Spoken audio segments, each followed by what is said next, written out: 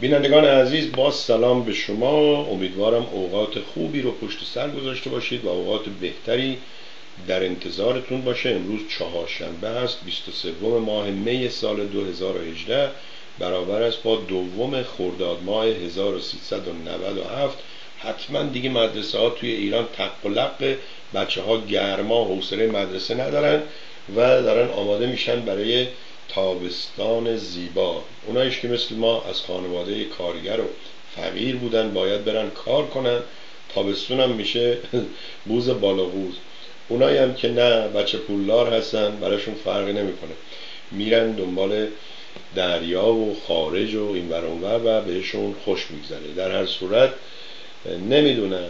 امیدوارم اگر خدایی هم هست یه روزی این خدا عادل بشه و بتونه به همه عدل و عدالتش رو نشون بده و آقای علی پیشرو سلام و عرض ادب و احترام جناب آقای سوربی منم به شما سلام می‌کنم آقای پیشرو عزیز و امیدوارم که در زندگی همیشه پیشرو باشید پیشرو میشه چی؟ آوانگارد نه؟ آوانگارد خب دوستان اجازه بدید که من اول از همه چیز یعنی قبل از همه چیز اول از همه اول برنامه. برم سراغ یک آدمی که لطف کرده برنامه های منو نگاه کرده و سه بار مسیج گذاشته. یکی ساعت یک و بیست و هشت دقیقه شب یکی ساعت یک و سی و چهار دقیقه شب. میشه صبحم بگیم. یکیش ساعت یک و سی و شیش دقیقه صبح. و من بسیار خوشحالم که بعد از 20 سال هنوز برنامه های من هم مجاهدین بهش دقت می‌کنن هم شاه ها بهش دقت می‌کنن. البته بعضی از دوستان سلطنت طلب و طرفدار پادشاهی میگن آقای سربی به خدا اینا پادشاهی و شاه اللهی و اینا نیستن. اینا حزب اللهی هن میان اینجوری میگن که شما بیای حمله کنی به شاه اللهی ها خب کاری نداره که. حالا ما اولا این شماره رو بنویسید شما بعدا تماس بگیرید با این آقا. کارش داریم فعلا. بذارید ببینیم که شماره چی هست. اینجا میگه تاک اینم این. بله این خط آزاد بیرون. بله حالا شمارهش رو بنویسید. دویست و چهل. دویست و چهل و پنج. پنجاه پنجاه و چهار. ببینیم که چیه حرف حسابش چیه. این روش های زمان شاه. بله. همین تا دیده تا دیده شمارش اینجا افتاده دومش رو گذاشته رو کولش رو قطع کرده. بذارید ببینیم بازم تماس بگیریم ببینیم اتفاقی میافته یا نه. شما زنگ بزنید در هر صورت مسئله نیست. این خط خارج. یک. دویست و چهل که همین مریلنده. دویست و چهل و پنج پنجا چهل و پنج.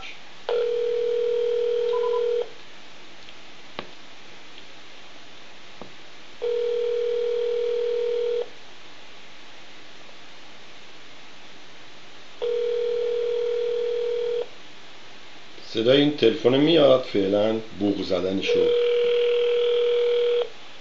اینو می‌ذارم اینجا که نزدیک به این میکروفون برنامه فیسبوک باشه. اگه کسی حاضر شده گوشی رو برداشت. بله. سلام سوربی هستم از تلویزیون مردم. زنگ زدم تشکر کنم که هنوز هم بیننده برنامه من هستید. بیشتر تشکر کنم که ساعت یک و نیم صبح یا شب بعد از نیم شب زنگ زدید. زنگ بزنید با هم صحبت کنیم. و شماره تلفن ما رو بلدید دیگه. 202 695 25 73 صحبت های شما خیلی جالب بود. و من مایلم که شما بیان برای مردم صحبت کنید تا مردم بفهمند که توی مغز شما چی هست منطق شما چی هست. روز و روزگار به شما خوش منتظر تلفن شما هستم. خب. بله. اینم از این دوست بیننده ای که خیلی زبله. ما این همه مدت کار کردیم و تنفروشی کردیم. حالا شما می‌پرسید چند می‌گیری؟ آقا می‌خوای بری رو دستمون بلند بشی یه مغازه بزنی بغلش. شما بگی من 50 درصد می‌گیرم. نه عزیز من اینجوری کار نمی‌کنه شما باید بری زحمت بکشی و به اصطلاح برای خودت اگه می‌خوای وطن فروش باشی باید اصلا بتونی یه کارهایی انجام بدی. یه دوستی به نظرم میاد آقای جوونی هم هست. و برای من واقعا جای تاسفه چون من یه مدتی امیدوار شده بودم به این جوونها که اینها آینده ایران رو می‌سازن. از همین شعارهای مزخرفی که میگیم. بعد دیدم نه آقا اینا هم یه پخی هستن مثل خودمون. هیچ فرقی نمی‌کنه. اینجا آمریکایی‌ها میگن که میوه درخت سیب وقتی میفته خیلی از درخت سیب فاصله نمی‌گیره. البته خب خیلی هم درست نیست. شما یه درخت سیب بالای چیز کوهی داشته باشین وقتی میوه میفته میره پایین. به ندرت همچین مثالی درسته. ولی بیشتر باغ وقتی داری شما درخت سیب داری میوه سیب میفته زیرش. این جوونا هم میوه های ما هستن دیگه. آقای کابوسی خودشو جر میده.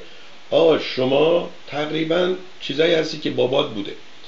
بچه شما چیزی هستی که شما از خیلی تغییری نمیشه. چند نسل توش طول می‌کشه تا یه چیزی عوض بشه. یه آقایی که خودش هنرمنده این کلمه هنرمندم گفتم. مثلا طرف گیتاریست هنرمنده. خواننده است هنرمنده. میرقصه اگه بهش بگی رقاص بعدش میاد. باید بهش بگی هنرمند. جاز می‌زنه آقای رضا پلوی اگه بهش بگی مطرب بدش میاد. میگه آقا مطرب میگم آقا مطرب کلمه طرب و شادیه. شما شدی آخون آخونده از مطرب بدشون میاد.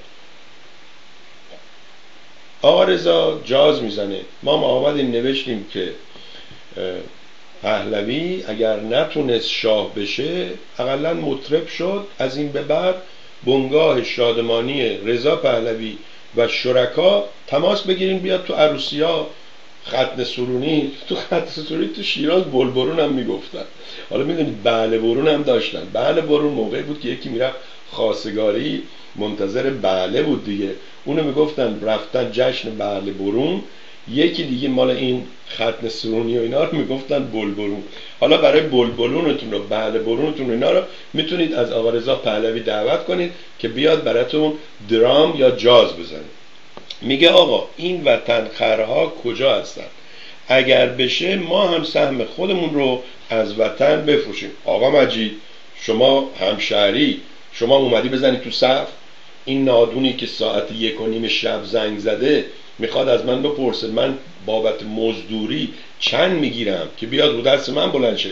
قیمت منو بشکنه. شما هم که همشهری هستی آمدی دنبال وطن خر میگردی.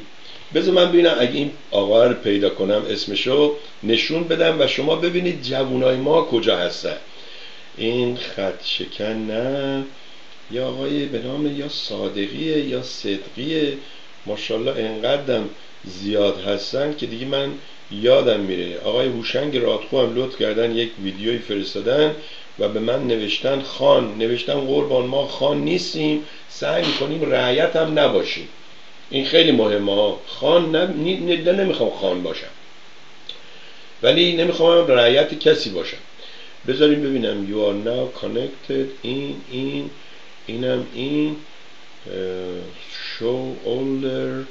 آها آقای سامان صدقی. شما این جوون رو داشته باشید ببینید چی نوشته. برای من نوشته که آها. راجع به همین آقا رضا پولوی بوده و اینها ایشون نوشته که آقا باید معدب بود. گفتم شما یه مقداری کتابای ایرج میرزا رو بخون بعد اگه شاه الله هستی صحبت کردن رضا قلدر رضا میرپنج رضا پهلوی رضا شاه که فامیلش رو هم از مردم دزدیده. ببین شما چقدر قلدر باشی. بری یک نفر بیاری. آقا اسمت چیه؟ محمود پهلوی. از این به بعد تو دیگه محمود پهلوی نیستی. فامیل طرف ازش بگیره. من رضا پهلوی هستم و از این به بعد هیچ کس حق نداره فامیل پهلوی باشه مگر اینکه از ما کسافت ها باشه. خب این شما داشته باش. حالا این آقا به من میگه شما معدب باش. بهش میگم که پسر من عزیز من برادر کوچولوی من که رفتی حافظی شیرازم عکس گرفتی. همه فرهنگ ما حافظ نیست. ایرج میرزا هم هست. کسای دیگه هم هستن که من نمی‌شناسم حتما از ایرج میرزا هم بهتر گفتن چون با زبون مردم صحبت کردن.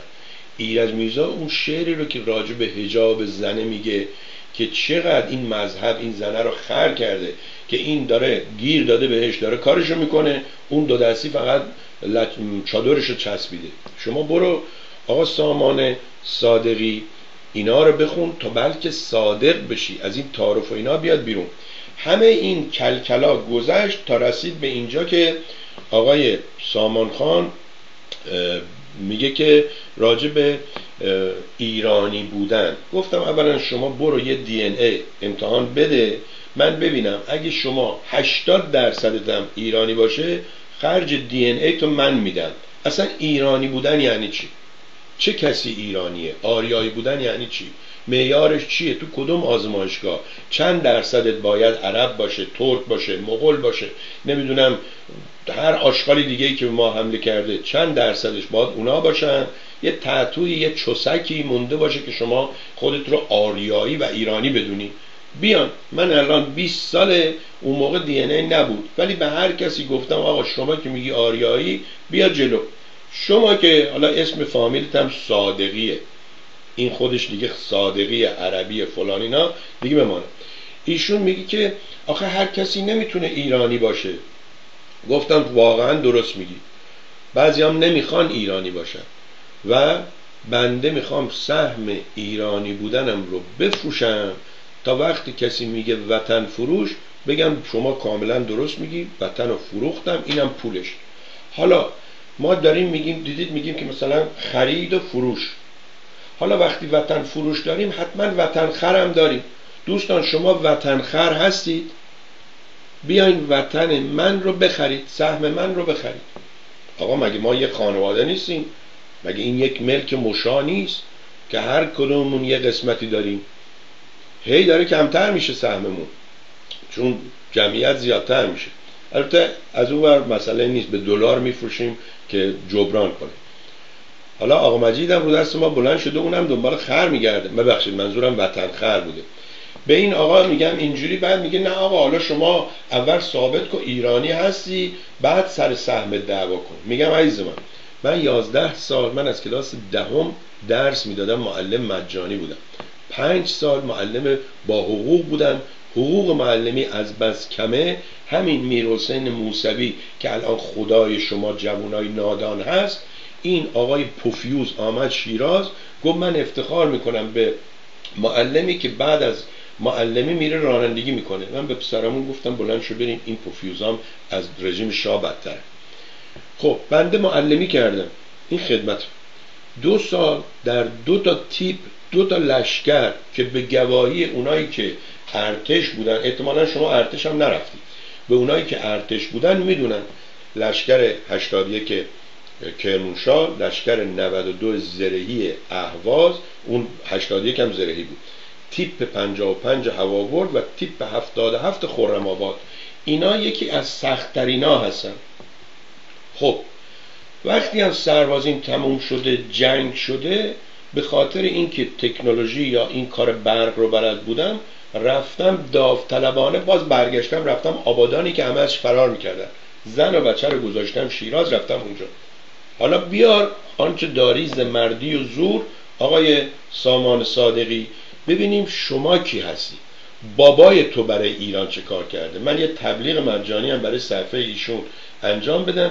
دوستان این صفحه ها رو که نشون میدم یه جوری هم می‌خوام شیطنت کنم. شما هم با اینا تماس بگیرید به اینا بگید آخه ببخشید پوفیوز. شما کی هستید که هنوز سنی ازتون نگذشته به این و اون میگید شما ایرانی هستید نیستید یا اون پوفیوزی که دیشب زنگ زده بذارید شمارش رو باز براتون بگم که میگه بهتره بری یه وکیل خوب انتخاب کنی چون در فردای ایران ما شماها رو محاکمه می‌کنیم. اولا خیلی ممنون که مثل رضا قلدو رو مثل آخوندا نمی‌خوای هر کسی رو به دار برسی یا مثل رضا فاضلی نادان نمی‌خواید به خیابون به درختای خیابون پهلوی مردم رو وصل کنی. ولی تو به من بگو در فردای ایران کی می‌خواد حکومت کنه؟ تو فکر می‌کنی اون کسی که تو دنبالش هستی میاد دادگاه های عادلانه می‌ذاره؟ و منی که اینجا نشستم میگم چه رضا تنبل بره چه رجبی بره چه مریم خوشگله بره چه تو بری. من ایران بیوری نیستم چون من می‌دونم ماها هر کدوم بریم از شاه بدتر از آخوندا بدتریم. خب. حالا شما به من نصیحت می‌کنی من برم آخوند بگیرم. دوستان شماره تلفن اینو میدم. مجید شب نصف شب چون یک و سی و شیش دقیقه صبح زنگ زده. شما هم زنگ بزن از کالیفرنیا. بذاریش سر کار. شمارش هست دیویست و چهل دیویست و چهل و پنج پنجاه چهل و پنج. بذارید اینجا بهتون نشون بدم. من بعضی وقتا این روزا نوشته ها رو شماره ها رو مثلا 45 یه دفعه می نویسم 54 اینجوری دیگه مطمئن میشم که شما شماره تلفن این آقا رو دارید. به احتمال 100 درصد دیگه وقتی 100 درصده که احتمال نیست. وقتی رسید به 100 درصد میشه احتمال یقین. بله. این یا مجاهده یا شاه چرا اینو میگم؟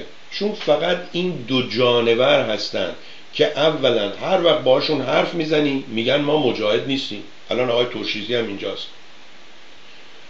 شاه هم هر وقت بهش حرف می‌زنی میگه من طرفدار شاه نیستم ولی این ولی که میگن ببخشید گوه می‌زنن به حرفای قبلیشون. آقای ترشیزی که شب و روز داره فعالیت می‌کنه برای مجاهدین میگه من مجاهد نیستم. چرا؟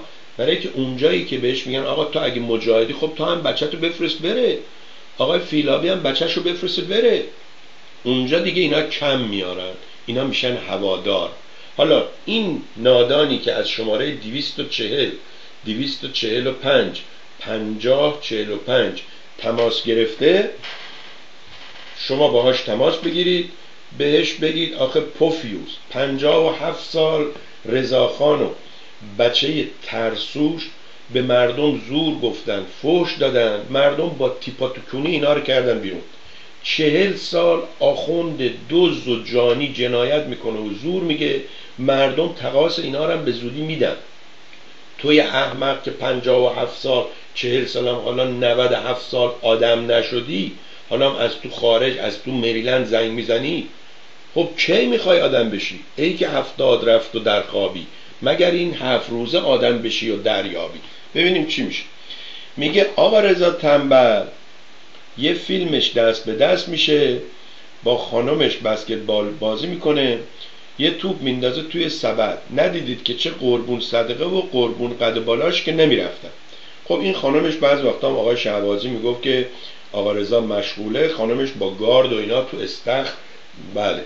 در هر صورت زحمت می‌کشن. چون گفتن یکی نوشته بود قربونت برم رضا پهلوی تو با این همه مشغولیات که داری چقدر علاقه داری به هنر که رفتی هنرمندم شدی. ببین اینا اینجوری هم. چه مشغولیاتی؟ ببخش. دیروز پیش یک جوان ارتشی آمریکایی تا دو روز پیش. دو روز پیش یک جوان ارتشی آمریکایی مسافرم شد. از کجا بودن من حرف زد و تا گفتم پرشن هستم خندید می‌گفت من پدر پدر پدر پدر بزرگ و جدم آمریکایی هستم. رفتم تست دی ان دی دی ان ای دی ان ای. دادم. 8 درصد Persian هستم. 30 درصد ازبک بودم. 90 درصد قفقازی بودم خلاصه با اون موی بلند و چشم آبی و پوست سفید می‌گفت 15 نژاد مختلف توی دی ان ای ایشان بوده. اینم از این. ممنونم. اینم گفت شاهد از غیب آمد. خوشحالیم که دوستان هستن اینجا و اگر یه برنامه ای میاد اینجوری از اول تلفنشو می‌ذاره مثل اون همشهری ما غلط برداشت نکنید. شما تلفن تو گذاشتی من میام نوار میبودی رو می‌ذارم. خب این خیلی مسخره است. شما تو آمریکا درس خوندی تو آمریکا بودی به قول خودت میگی قبل از همه ما گرین کارت گرفتی. بعد دانشت اینقدره که هر کی تلفن گذاشت شما رادیوهای آمریکایی رو گوش کن. طرف زنگ می‌زنه یکم جابجا میگه قطعش می‌کنه میگه برنامه امروز ما راجع به مثلا پل WW بریج ویلسون وودورد ویلسون بریج و روزای مموریال مموریال ویکند و اون روزای دیگرش هم نه. یعنی اینا اینقدر سورت می‌کنن میگه اینجوری الیمینیت می‌کنن میگه تو باید درباره این صحبت کن خب اونجوری این یکی هم که اولاغه شب ساعت یک و نیم زنگ می‌زنه پیغام می‌ذاره که نمی‌دونم تو چقدر پول می‌گیری؟ خب احمق من اگر هم پول می‌گیرم به تو نمیام بگم که. اصلا تو آمریکا شما دیدید یه آمریکایی از یکی دیگه بپرسه آقا حقوق چقدره؟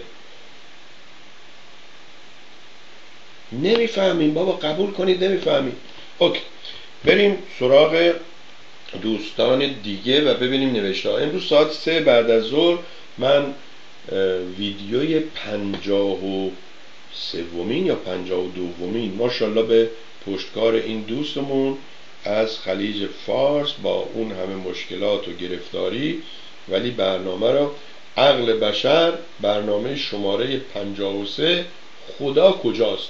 ایشون صحبت می‌کنن. من این نوا رو که صبح ساعت پنج قبل از اینکه برم زدم که دانلود کنه این دانلود کردن یعنی مثل ماشین تو ایران یادتونه می‌گفتن بار خالی می‌کنه بار می‌زنه. بار زدن میشه آپلود بار خالی کردن میشه دانلود تو شما می‌ذاری زمین دیگه اونو می‌ذاری بالا تو ماشین تاکسی بار اینو میذاریش پایین. بله ما اینه که دانلود کردیم و رفتیم. حالا امروز یعنی بعد از ظهری که برگشتم دیدم اینجا ایشون نوشته که یه ویدیو یا دو تا ویدیو هم هست اینا رو هم می‌خواد نشون بده. اگه شما لطف کنید چیزایی که می‌خواین عکس نشون بدید ویدیو نشون بدید ننشینید تا روز آخر. شما ماشاءالله یک هفته وقت دارید. از امروز تا چهارشنبه هفته آینده که ده دقیقه 15 دقیقه 20 دقیقه برنامه اجرا کنید. سب می‌کنید تا روز آخر. می‌دونم دلیلش چیه. دلیلش اینه که این روزا سرعت خبرها و اینها زیاد شده و شما می‌خوای تا اون آخر وایسی که نکنه یه چیزی اتفاق افتاده باشه و شما دربارهش نگفته باشید.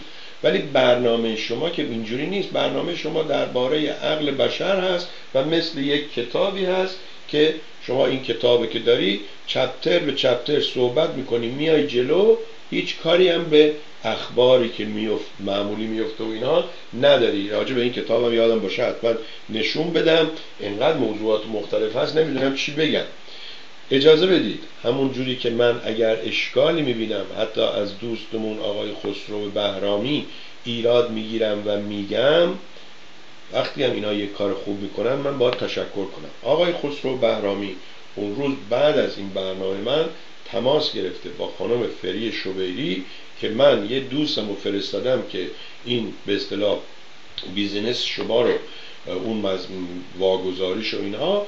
و ایشون وقتی رفته به اصطلاح تحقیق کرده اون جواز اینجوری بوده که اتفاقا من می‌خواستم بگم آقا خب شما به جایی که زنگ می‌زنی برای من پیغام می‌ذاری به اون آقایی که صاحب سوپرمارکت جردنه بگو آقا خب رفتی اونجا اولا شما باید هر شهری بری توی خود اون شهر بری تو دفتر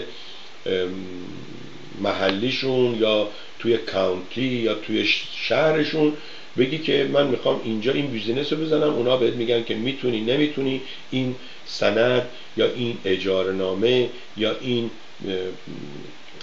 جواز قابل انتقال هست به شما یا نیست. هزار و یک ماجرا وظیفه شماست که برید تحقیق کنید. من همینجوری که قبلا هم گفتم اینجا همونجوری که آقای خسرو برامی گفت می‌خواد اون نمایشگاه سنگ فروشی و به اصطلاح کارگاه سنگ بریش و اینا رو بفروشه ما آمدیم گفتیم ما اینو میگیم. ولی هر کی گفت کجاست فلان میگم آقا این شماره تلفن شما خودتون تماس بگیرید. درباره خانم فری شبیری و همسر عزیز آقای لطفی گرامی که مثل داداش منه تقریبا با هم اینقدر دوست هستیم این با خودشون تماس بگیرید. و خیلی خوشحالم که این کار کردیم. ممنونم. و با هم صحبت کنید. حالا جالبتر اینه آقای خسرو بهرامی ما یه دوستی داریم اینجاست کننده این کاره. ولی میگه که من اگه کسی پیدا بشه شریک بشه اون پول بذاره من کار انجام بدم. پیشنهاد خوبیه. شما و دوستت از نیویورک پول بذارید این از ویرجینیا میره اونجا کار می‌کنه و یک شرکت چی و شرکا شرکت نمی‌دونم هرچی با شرکا را بندازین. در صورت این امکانات من دوستان همینه. همونجوری که بهتون گفتم اون روز یه نفر زنگ زد که آقا یک کسی که تو تلویزیون مردم بوده ادعای قانون اساسی و ادعای خوشرفتاری و ادعای آینده خوب و ادعای دموکراسی و ادعای دانشگاه های مختلف دنیا ایشون از این بند خدا که کارگر هست پول قرض کرده و پولشو پس نداده. من گفتم آقا یا نداره یا کلاش و کلاه برداره. اگه نداره شما بیاید تلویزیونم بگی یه پولی هم به من بدی این پولم از دست رفته. اگه کلاش و کلاه بردارم هست که اینا ککشون هم نمیگزه. گفت نه من می‌خوام اقلا بگم که دیگرانی که امروز صدای منو میشنفن پولش ندن. گفتم آها به خاطر این بیا. گفت که حالا چون شما اینو گفتی من چند روز دیگه صبر می‌کنم و همین امروز با دوست مشترکمون صحبت کردم. گفت وقتی باهاش تماس گرفتم گفته تا آخر ماه به من وقت بده. اگر بدهیشو نداد بعد این دوستمون از کانادا میاد دربارهش صحبت می‌کنه. این دوستمون از کانادا هم فکر کنم همه شما می‌شناسید. فقط صبر کنید که بیاد. اینم از این ماجرا. بعد امکانات تلویزیون مردم چند تا چیزه. یکی اینکه ما به شما وقت بفروشیم یعنی به شما مثل دوستانی که از سازمان مجاهدین جدا شدن مثل که دوستانی که تو سازمان مجاهدین بودن فیلم میفرستادن مرداد علی دیگران میگیم آقا ما میایم اینجا. این تبلیغ پلوپس توشیوا یادته؟ میگم رو آب بریز برنج بریز روغن بریز دوشخش بزن تو پریز. ما این کارا رو انجام میدیم. شما فقط دوشخه رو بزن تو پریز برنامه بذار و بیا حرف دلت رو به مردم بزن. مسئولش هم خودت هستی. همونجوری که ما اول برنامه هم یه چیزی نشون میدیم. مال اینایی که برنامه دیگران هستن که تلویزیون مردم و مدیر تلویزیون مردم مسئول گفته ها مسئول آگهی ها نیست. آقا یکی اومد گفت که شما این یه که چرمه. اینو بگی دست اینجوری کن اینجوری کن اینجوری کن پولدار میشی. شما اگر این خریدی اینجوری کردی اینجوری کردی اینجوری کردی پولدار نشدی نمی‌تونی منو سو کنی. برو دنبال اون. این قانون میدیای آمریکاست. اینم از این اجازه بدید من به سلامتی شما جرعه آب بنوشم. اونایی هم که روزه هستن امیدوارم روزه بهتون صدمه نزنه. امیدوارم روزه بد نکنه. امیدوارم روزه چون میرید فکر نکنید حق دارید همه گشنگی بکشن که شما می‌خوای روزه برید. روزه رفتن شما بین شما هست و خدا. اگه خدا رو باور دارید منت سر خدا بذار. سلامت سلام جناب آقای سربی خسته نباشید. ماندی امانزاده شما هم به اصطلاح خوش آمدید. ممنون و متشکر منم به شما سلام می‌کنم. و آقای فرهاد که قبل از برنامه برای من نوشته بود سربی برنامه داری یا نه؟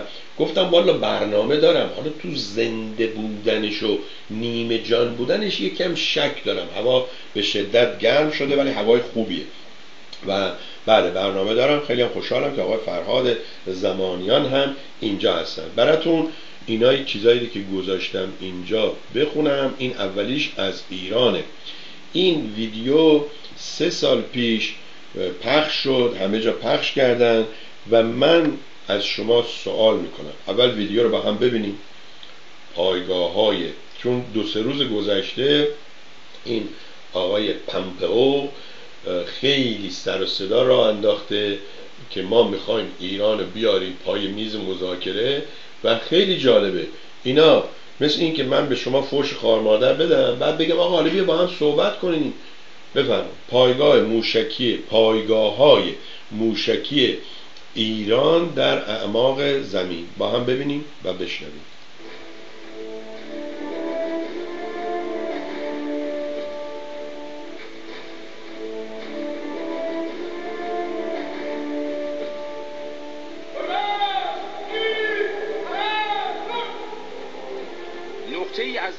اسلامی.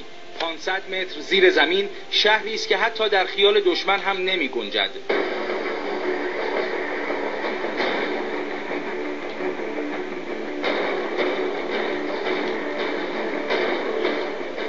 من به ملت ایران قول میدم کوچکترین خدشه تهدید یا ناامنی از ناحیه بیرون مرزها متوجه کشور نخواهد بود. این آتش فشانی در اعماق زمین که اگر فوران کند خانمان سوز است برای هر بیگانه. ما کمتر استان شهر و شهرستانی داریم که حداقل یک پایگاه حالا همینجا وایسا. اولا قشنگ میگه 500 متر زیر زمینه. دوما میگه در نقطه نامعلوم. خب این حاج آقا رو که وقتی می‌شناسن فردا میان دم خونهش راه میفتن ببینن صبح کجا میره. این کارا بهش میگن دندون نشون دادن. دندون نشون دادن معمولا جانوران چون زبان ندارن با هم صحبت کنن دندون به هم نشون میدن. یعنی میگه ببین من هنوز دندون دارم با دندون شما رو تکه پاره کنم. همون سگ مثلا وقتی عصبانی میشه اگه نگاه کنید وقتی قررش می‌کنه یا صدا میده دندوناش هم به شما نشون میده. این جمهوری اسلامی این رو شما به عنوان دندون نشون دادن قبول کن. این کاریه که اون مرد که کتوله مال کره شمالی هم انجام میده و اینا دیگه وقتی که کارد به استخونشون رسیده مجبورن اینا رو نشون میدن. که بلکه آمریکا بیاد پای میز مذاکره و آمریکا هم رفت پای میز مذاکره چون این فیلم مال سال 2015 است مال سه سال قبل. ولی اینی که میاد اینجوری نشون میده اگر منفجر بشه اینجا بیگانه ها یکی بگه آخه احمق خودت داری میگی این تو ایرانه. احمق خودت داری میگی 500 متر زیر زمینه. 500 متر زیر زمین اگه منفجر بشه از اونجا سنگ میفرسته برای اوهایو. سنگ میفرسته برای کالیفرنیا یا مردم بدبخت اون منطقه دچار به اصطلاح انفجار و تشعشعات میشن. آقای اکبری میگه با اجازه یک فیلم چند ثانیه‌ای برایتان فرستادم. کجا؟ به هم بگو. ضمنا آقای کامران خانلر میگه آقای سوربی روزه گرفتنیه یا رفتنیه؟ والا من نمی‌دونم رفتنیه یا گرفتنیه ولی می‌دونم خوردنیه. چون همون که روزه می‌گیره خیلی می‌خوره. هم من و شمایی که می‌خوریم روزمون رو به اصطلاح روزه نمی‌گیریم روزه رو خوردیم دیگه. دنبال اینم ببینید. مشکی نداشته باشیم. هم به وفور یگان داریم پایگاه داریم گروه داریم منطقه داریم. هم الحمدلله موشک و این روند ادامه داره. و این بار تو در تو و تا چشم کار می کند موشک های دوربرد بالستیک. موشک هایی که بر روی لانچر سوار است و آماده پرتاب. و روحیه و ایمان و اعتقاد مردانی که فقط منتظر دستورند.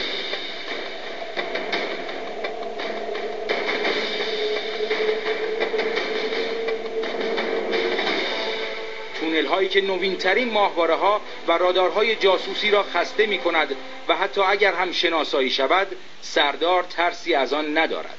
آنقدر پایگاه زیاد داریم که خب اگه ترسی از آن ندارید چرا اولش میگی در نقطه معلوم نامعلوم؟ قشنگ آدرسش هم بده بگو مثلا آکباتان شماره تونل شماره چهار. آقا کارتون خرابه. خانم کارتون خرابه. این سردارم که خب دیگه معلومه. سرش حاضر برای دار. حالا کی نوبتش بشه؟ می‌بینیم. مسنجر چون خود فیسبوک قبول نکرد. اوکی ببینم آقای اکبری. فیلم شما چیه و بعد نشون میدیم. حالا امروز که ساعت سه هم این دوستمون هست.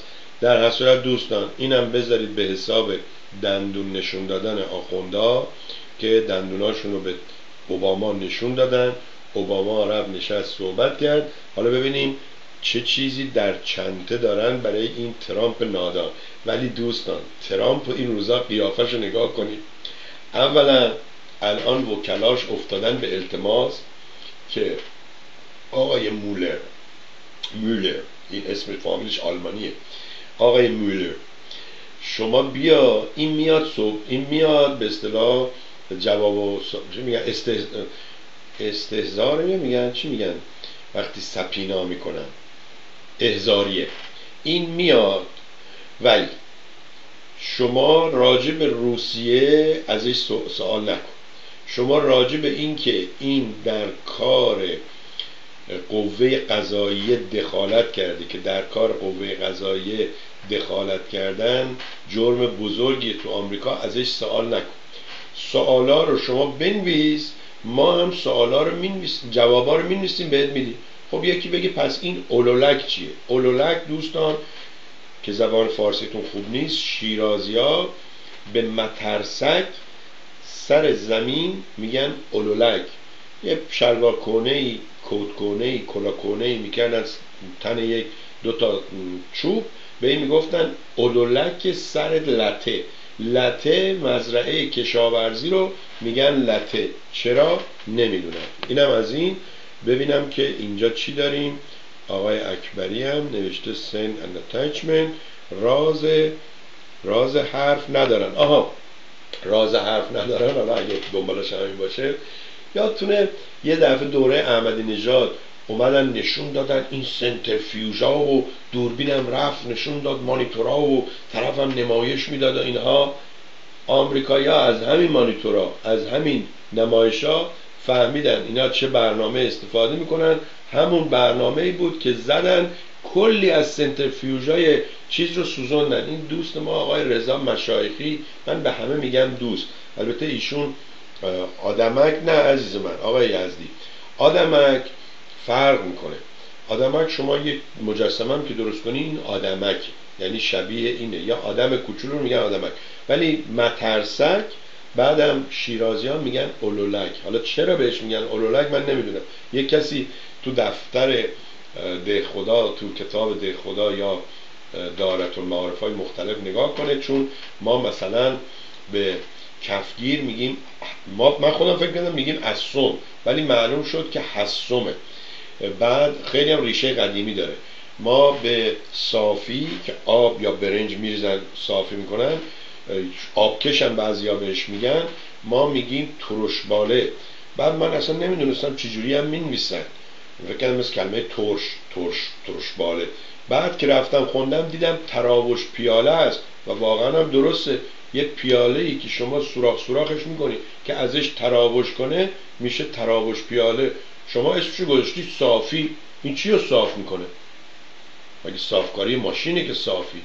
آبکش حالا شاید یه وقت آب نباشه یه چیز دیگه توش باشه. مثل آقای مثلا زاهدی جاکشی بکنه. مترسک درست است. ببخشید. بله.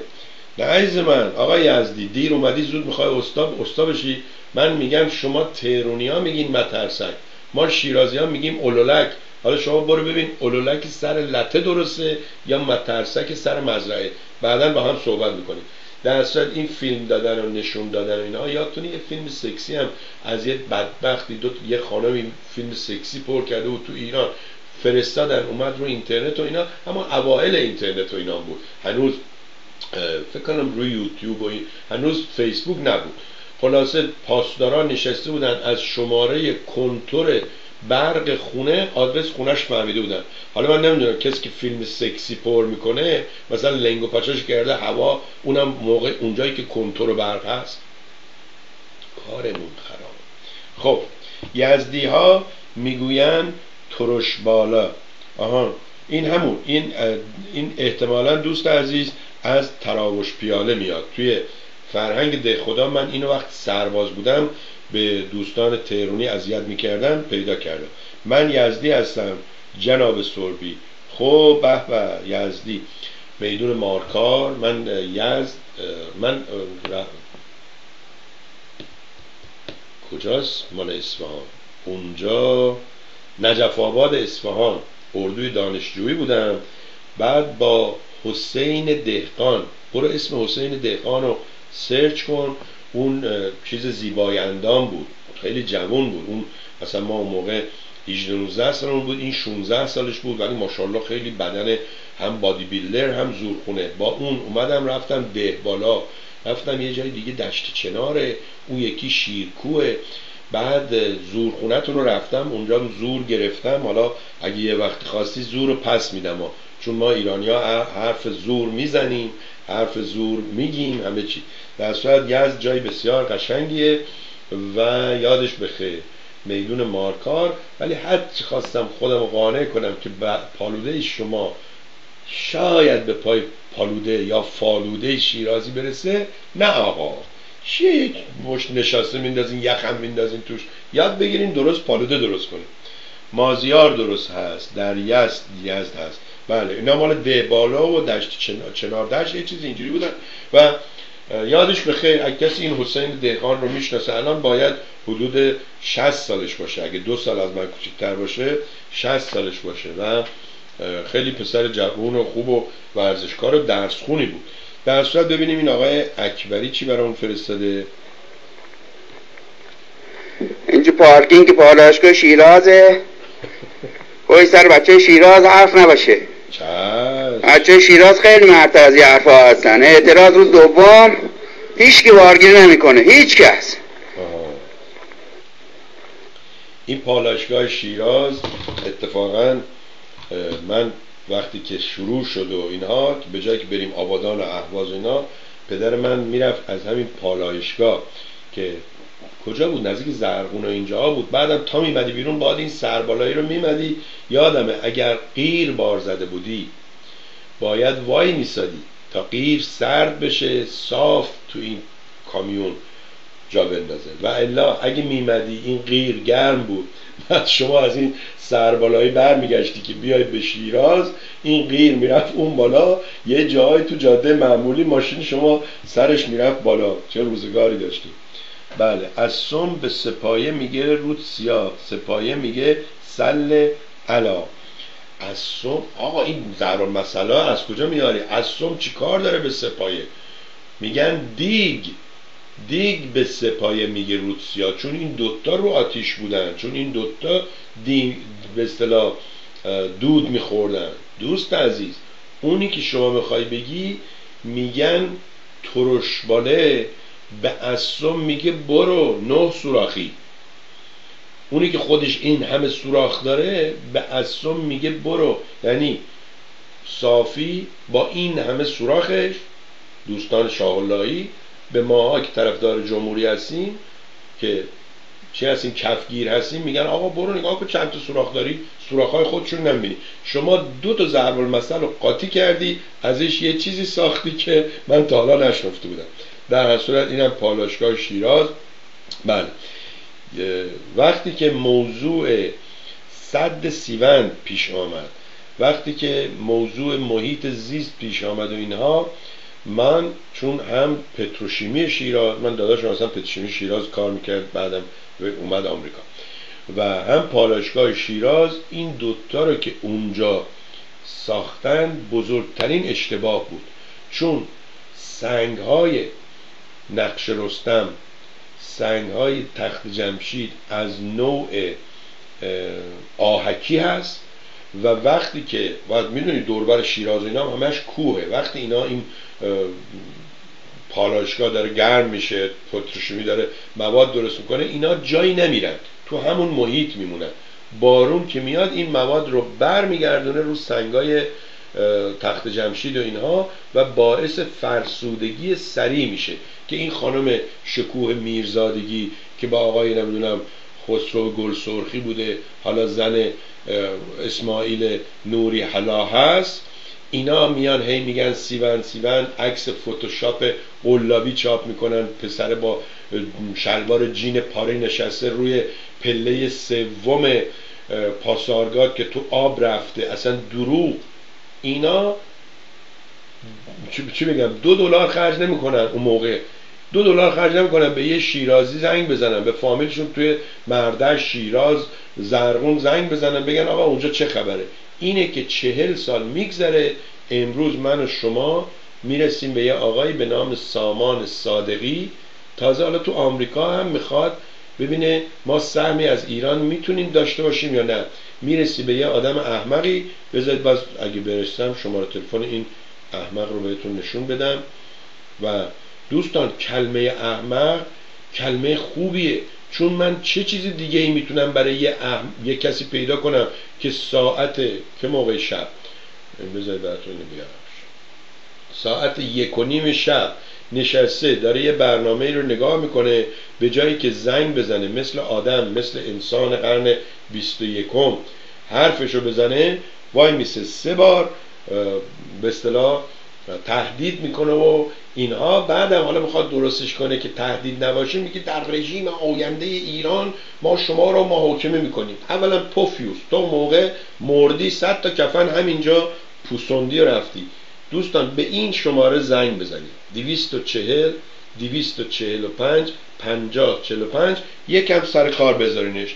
آقای اکبری میگه اشتباه نوشتم. بله پار... بله بله. پالایشگاه شیراز گردنه باجگاه هست. بله. اینم از این اینم از این. یادش بخیر. باجگاه همونجا پلیس راه زدن. بعد که من 2005 رفتم دیدم اصلا آقا عوض شده اصلا تا اکبر آباد خونه ساخته بودن اصلا دیگه پلیس راه هیچ دیگه آقا. باید هم همینجوری باشه باید پویا باشه ایستا باشه میشه مثل این مکه هزار سال همینجوری یه چیز سیاهی گذاشتن اونجا مسخره بازی در آوردن برای خودشون. بله. آقای فرخ سپهرار میگه نادان. نه عزیز من نادان من شما راجع به الکترونیک از من سوال کن. میگم من رشتم الکتریک هست الکتریکال الکترونیک بلد نیستم. من در این قسمت نادانم نادان توهین نیست که. احمق کسی که نادانه فکر می‌کنه می‌دونه خودش تو زندگیش ناموفقه می‌خواد تازه برای دیگرانم راه پیدا کنه. مثلا آقای مسعود رجوی احمقه. آقای رضا پهلوی احمقه. اینا اگر نادان بودن خب می‌رفتن دو کتاب میخوندن دانا می‌شدن. آقای رجوی می‌رفت دو کتاب. اون مال آقای چیه؟ چی چی شاه بهت میگه گرسروت چجوری درست کن نیروها رو چجوری جوون کن چجوری نیروگیری کن. به اصطلاح شما شما می‌خوای احترام بذاری. این احترام گذاشتن های ما به این روزمون انداخت. احترام گذاشتن میشه شما داری دروغ میگی. کسی رو که می‌دونی احمقه بهش میگی نادان. نه آقا بهش بگو احمق تا این بفهم. خب عراق زیاد سعی کرد با موشک و هواپیما پتشمی شیراز رو بزنن ولی به خاطر همون کوهستانی بودنش هیچ وقت نتونستن بزنن. شاید از این نظر جاش خوب بود. وایس. یعنی شما میگی زمان شاه اینا فکر می‌کردن که دشمنا میان حمله می‌کنن گذاشتنش اونجا. من فکر نمی‌کنم اینا اینقدر عاقل بودن یا همچین فکری بکنن. چون شاه به غیر از اینکه فکر می‌کرد مردم ایران همه دوستش دارن فکر می‌کرد خیلی هم محبوبه بین همسایه ها خیلی کار خراب بود خدا وکیلی. اصلا ممنون. بله این فرق ول نمی‌کنه. میگه آقا بهشون بگو نفهم. باشه چشم. چشم بهشون اونو میگی مرسی. خب دوستان عزیز کم کمک داریم می‌رسیم به ساعت سه. ولی تا اون موقع بذارید من اولا تبریک بگم به یکی از دوستانمون که بچهشون داره میره آقا کیان گل داره میره دانشگاه هاروارد. ما اینجا دانشگاهی داریم بهش میگن هاوارد یا هاوارد. و این با اون هاروارد مال بوستون مال ایالت ماساچوست اشتباه نشه. اون دانشگاه درست حسابیه. این یه دانشگاهی که درست کردن برای سیاها و بدم نیست. بالاخره همین سیاپوستار هم از توی مدرسه بردن اونجا و به اصطلاح مدرک بهشون دادن توی جامعه سری در بیارن و بتونن فردا دیگه همه رو سرزنش نکنن که شما پدر بزرگان ما رو از آفریقا آوردید. البته بعض از آمریکایی ها میگن خب آقا ما که نیاوردیم پدر بزرگامون آوردن. ولی الان که شما می‌تونی خب برگرد برو آفریقا. برو آفریقا رو درست کن. تو تازه شانس آوردی اینا آوردنت اینجا. من نمیگم ها اینو ردنکا میگن. ردنکا یعنی گردن سرخای بی سواد آمریکایی. و اما یک کارتونی این دوستمون فرستاده نوشته که US Embassy so where are the strippers آه این نوار غزه نوار اینجا بهش میگن به اصطلاح گزا یا استریپس اون وقت این چیز چون همش فکرش توی سکس و اینا هست ترامپ رفته از توی این خیلی جالب اتفاقا رفته از توی این سفارتخونه جدید دوربین گرفته و اینجا که نوشته بلندی های غزه می‌گفتن چی بود؟ نه اون بلندی های جولان بود. غزه رو نوار غزه, میگیم. ولی به انگلیسی این کلمه ای که اینجا نوشته ستریپ این میگه استریپراش کو یعنی اونایی که لخت میشن خانما این کلمه رو با اون اشتباه کرده بله میگه اگر بگیم اینها مخلوطی از نادان و احمق و نفهم هستن هم درسته هم اختلافا برطرف میشه. یک کلمه قشنگ باهاش درست کن آقای خوشنودی که همه خوشنود باشه خب خیلی ممنون برگردیم. این کارتون نشون دادیم. این کاریکاتوره. که اینجا بهش میگن کاریکاتور. بعد کارتون مجموعه ای از کاریکاتورای هست که موو می‌کنه. اونا میشه کارتون. حالا ما چون اینا مال زبان ما نیست فعلا اب نداره. شما دو تا غلط داشتی بهت میدیم 18 خانم لیلا درباره اون شناسنامه پهلوی و دختر رضا قلدر رو اینها صحبت می‌کنه و میگه که اگه این خانم اون موقع فامیلیش بوده آهان یه خانم دیگه ای نوشته. این رو خانم زرین خانم زری تناز تنازی نوشته. اون شناسنامه ای که به نام پهلوی نشون دادید رضاخان در اون زمان نام خانوادگی نداشت. داشته خانم نام خانوادگیش میرپنج بوده. اینم که میگن رضاخان ما رو نمی‌دونم صاحب فامیل کرد و اینا. یعنی یه دروغ بزرگی نام خانوادگی داشته رضا میرپنج حالا شناسنامه دادن و اینها اون دیگه حرفی جداست. اینم مثل دروغیه که میگن دانشگاه رو اینا درست کردن. مثل دروغیه که میگن مدرسه نداشتیم. ولی مدرسه دارالفنون زمان امیر کبیر بوده. دانشگاه جندی شاپور از قبلش بوده که خارجی ها میمدن اونجا درس میخوندن. انقدر شما شاه الله یا دروغ گفتید مثل اوجی سیمسون قاتل که حالا دیگه خودشم باورش شده که قاتل نیست شما هم باورتون شده. در صورت اب نداره یاد می‌گیرید. میگه اون زمان رضا پهلوی فامیل نداشت. پهلوی را این خانم از محمود پهلوی گرفت که محمود رضا از محمود پهلوی پهلوی را گرفت که خودش پس از آن به نام محمود محمود. باورتون میشه؟ یه نفر داره راه میره. فامیلیش پهلویه اسمش محموده. طرف بگه آقا بیا اینجا بینم دیگه از این به بعد تو محمود پهلوی نیستی. تو محمود محمودی. مثل عربا هم فامیلیش گذاشته. و فامیل تو میشه فامیل من. من نمی‌خوام رضا میر پنج باشم. من می‌خوام رضا نمی‌دونم چی باشم. این میر پنج هم فکر کنم یه درجه ای مال همون قذاق مزاق بودن بهش می‌دادن. میگن رضاخان پالانی بوده. اگه پالانی هم بوده چون می‌دونی از اسبا و اینا نگهداری می‌کرده. کاش که همون کار ادامه داده بود. الان هم آقا رضا اینجا می‌شد اینایی که میرن اسب بازی می‌کنن سوار اسب میشن چی میگن؟ یه ماش... برانکو از این ماشین های به اصطلاح اسبای وحشی اینا. نام محمود محمود شناسی. اون خانم صد و چند ساله امکانش هست که از بستگان محمود محمود باشه. و نه از پهلوی. نام خانوادگی قصب کرده. اینم از این ماجرا. اب نداره. حالا من و شما داریم راجع به کسایی صحبت می‌کنیم که مردن و نیستن و راجع به فامیلایی صحبت می‌کنیم که بعضی هاشون از گفتن فامیلشون هم حتی خجالت می‌کشن. دوست گرامی با تشکر از ارسال این ویدیو پرمحتوا در مورد کلمه ارمنی ارامنه که بالغ بر 500 سال در ایران بوده و زاد ولد کردن چون سایر اقوام دیگر یک ایرانی هستند ولی از تبار ارمنی. مشکل اغلب ما ایرانی ها آن است که اقوام دیگر را نمی‌خواهیم ایرانی بدانیم و همیشه با دیده یک فرد خارجی به آنها نگاه کرده ایم در حقیقت ما فارس ها بوده ایم که سعی کرده ایم خود را جدا از آنها بدانیم نه آنها. چرا؟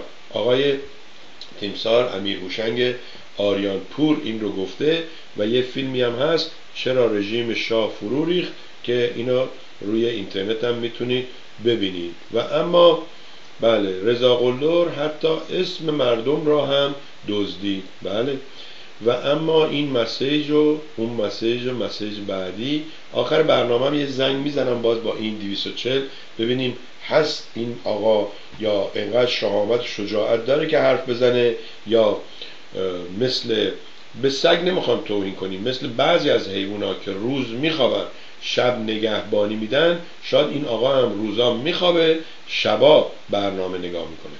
بله میگه که نگ دیشب در نجف شما تون می‌نویسی کلمه ها رو قاطی میکن رقیبان شیعه که رأی رأی به دست آوردنشان در انتخابات هفته پیش کمتر از مقتدا صدر بود به جان هم افتادند. عقلی که تصور می کند یک پارچه بودن وابستگی به یک مذهب موفقیت و پیشرفت و عدالت اجتماعی به بار می آورد کجاست تا با دیدن این وضع ما را قانع کند؟ آه این ایشون می‌خوام بگه یعنی بین بین شیعه ها هم دعوا هست بعد از این انتخابات و این مقتدا صدر و اینا. دوستان این میشه یعنی بگیم دیگه حکومت ایران قشنگ عراق رو گرفته نه؟ اینجوریه؟ این هم از نادانی و نفهمی و بیشعوری جورج بوش که عراق رو گذاشت توی یک بشقاب طلا توی یک سینی طلا تقدیم کرد به ایران و آخوندها.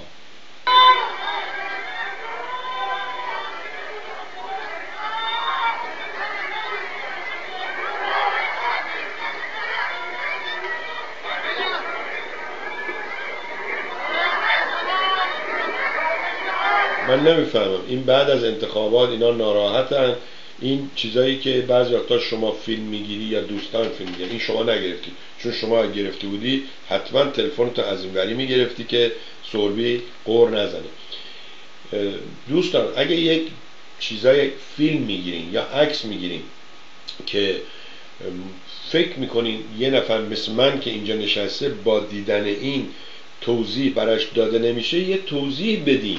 بگید که مثلا این پس از انتخابات طرفداران اون ببینید چجوری دارن تو سر خودشون می‌زنن قش می‌کنن فلان می‌کنن اینها. یا اگرم نوشتاری هست یک نوشته زیر عکس بنویسید که اینجوری باشه و اون به اصطلاح باشه. من امروز یه عکسی گرفتم از یه جایی بعد از صحبت های این دوستمون بهتون نشون میدم و پریروز رفته بودم دوشنبه دادگاه فیرفکس. اونجا وقتی داشتم می‌رفتم دیدم یه خونه کوچولویی رو خب آمریکا که سابقه آنچنانی نداره و هرچی هم مال سرخپوستا بوده که اینا نمی‌خوان نشون بدن. زمینی که نشون میدن مثلا بعضی پارک ها بعضی جاها آکاکوان کوانتیکو نمی‌دونم اینا چیزای اسمای همون سرخپوستیشو نگه داشتن. ولی اینا همین دیویس خورده سالی که تاریخ دارن اگه یه خونه کهنه 150 سال 100 سال هم هست اینو درستش می‌کنن به من و شما neshun میدن که ما اینیم. تا یک نادانی بیاد بگه من از ایرانم من 2500 سال پادشاهی کردم بعد بگن اوکی سال 1179 شما 1979 پدر شما رو هم در میاریم خیلی دوستان به رخ آمریکاییان نکشین منانم که این. حالا بریم از آمریکایی. شما می‌خوای به رخ یونانی بکشی که شما چی؟ به رخ مکزیکی بکشی که شما چی؟ به رخ چینیا بکشی که شما چی بودی؟ ول کنید آقا. گذشت گذشت. امروز چی هست؟ اگه امروز چیزی هستی لازم نیست به رخ کسی بکشی. اگه دانشمندی داری از دانشت استفاده می‌کنی. پولداری داری از پولت استفاده می‌کنی. دیگه به رخ کشیدن نداره. ساعت دو پنجاه و هشت دقیقه است. بریم سراغ این صحبت های دوستمون از خلیج فارس درباره جینیز هوکا لاونج صحبت کردم. اگر کسی می‌خواد من بعد از این برنامه آگهی ها نشون میدم. هم آگهی والنتاین هم آگهی جینی هم آگهی این کتاب. و اگر مایل هستید با خود دوستان تماس بگیرید. آقای خسرو بهرامی هم بازم ازش ممنونم که تماس گرفته و, و اگر پرسشی هست از خود صاحب ملک صاحب business صاحب ماشین. ما اینجا به شما میگیم آقا یه فولکس واگونی برای فروش. شما به من نگو این فولکس واگن آب داره نون داره. خودش زنگ بزن به صاحبش زنگ بزن. بله یاد بگیریم این چیزها رو. خیلی ممنون.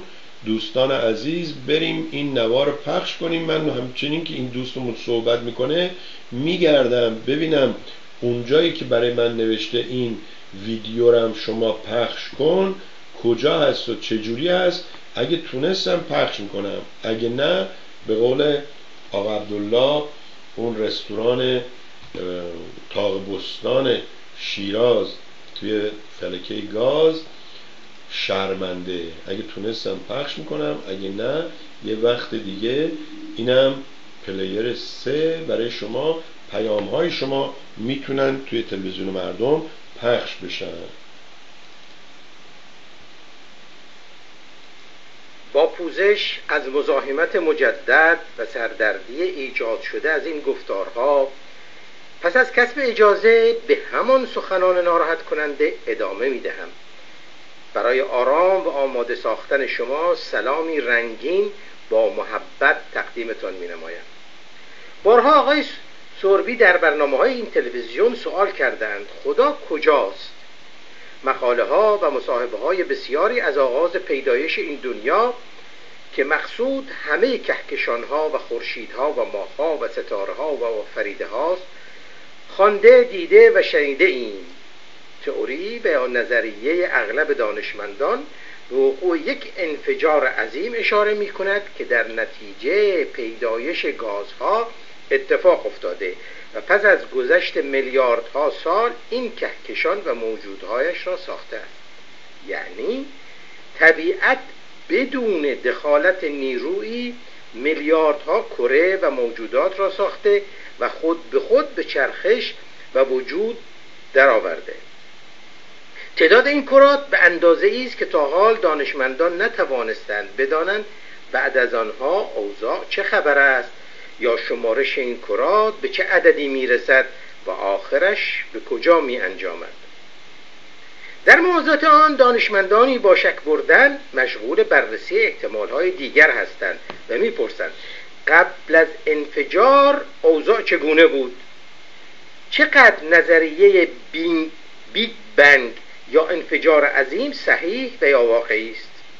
جالب در این مسئله وضع علم و دانش می باشد که هرگز مسئله ای را پایان یافته حتمی و غیر قابل تغییر نمی داند. عقل دانشمندان برای قبول و بحث باز نگه داشته شده اند یعنی آمادگی دانش و عقل برای پذیرش نو که بارها به عدم یقین و پایان بودنش اشاره کرده شب دنیای ما آبستن است فردا معیارها و دانشها و روشهای نوین خواهد زایید و پس فردا نوع آفرینی دیگر به بار خواهد آورد. با این تغییر و پیشرفت وضع انسان بر روی این کره به جلو می رود. وضع و حقیقتی از انسان و مغزش که همه دینها انکارش کرده و با نیرو و زور در تنگنایی قرار داده اند که نتواند جز ایده و عقیده هزاران سال پیش به مسئله اندیشیده و یا ایده ای را مطرح کند. انسان هرچند که خود را پیشرفته تصور کند یا در کشورهای پیشرفته زندگی نماید درک وابستگی عقل به اصول گذشته و ناتوانی فرار از آن را نمی‌فهمد نمی احساست و مایل به دانستنش نیست. انسان زحمت دانستن و فراگیری خارج از انباشته های عقل را نمیپذیرد. مایل به درک واقعیت خیش و با ماندگی در بیشعوری ها هم نیست. این حکم درباره عقل انسان پس از تجربه های روزانه ملاقات با صاحب مغزان مختلف نیازی به ثابت کردن ندارد. پس از شنیدن یک سخن که مخالف معیارهای انباشته شده در بیشعوری و یا معیارهای پیشین است انسان فورا اعتراض کرده و نظر می‌دهد. هرگز به نادانی خود پی نبرده و نخواهد برد. هرگز نمی‌گوید بروم و بررسی کنم با آنگاه پاسخ دهم. انسانها خود و عقل و اندیشه ها و اطلاعاتشان را چنان کامل می‌دانند که نیازی به بیشتر دانستن ندارند. بدون درک از واقعیت خیش و محیط زندگی و پرورش نمی‌توانند و یا نمی‌خواهند قبول کنند که اطلاعات دیگری هست که ما از آن بیخبریم نشنیده ایم نمی‌دانیم. جریانات هر روز تغییر یافته و ایده های نوین دنیای ما را اشغال و بر اراده و توان و اوضاعمان حکمرانی می کنند کسانی که به دین وابسته و آن را اصل زندگی و موفقیت در دنیا و آخرت می‌دانند لطفا جلو آمده و برایمان لیستوار بگویند. این همه مدرسه های دینی در چند هزار سال چند درمان و یا شفا برای بیماری ها تقدیم انسانیت کردند چند تئوری در هندسه جهت پیشرفت انسان ساختهاند. کدام یک از بحث های فیزیک یا شیمی از آن سر درآورده اند یا چند مصالح ساختمانی وسایل کار روش بنایی و یا دارو, و دارو به دنیا معرفی نمودند ستاره شناسی که از هزاران سال قبل دانش راهیابی بود توسط بیدینان بتپرست ملحد و کافر مصر و بابل پایگذاری شده بود. ملایان هیچ کاری بجز مفتخوری و سوء استفاده از انسانها و تفرقه انجام نداده و اغلب کشتارها بنابر خواست تأیید تحریک و فتوایشان صورت گرفته. این واقعیت مربوط به یک دین معین نیست بلکه حال و وضع و تاریخ همه عقیده ها از روز نخستین تأسیس تمدن بر این کره و تا حال بوده و خواهد بود. وعده های پرزرق و برقشان برآورده نشده و ناکامی ها را به خواست نیروی غیر قابل دسترس یعنی خدا نسبت می‌دهند. با این حقیقت از وضع ملایان همه دین ها ببینید چقدر مرید و طرفدار دارند. باز عاقلان نبودن مغز انسان را نپذیرید. آیا این حقیقت دین و وضع دین فروشان را قبول کردید و یا هنوز واقعیتش مورد شکتان است؟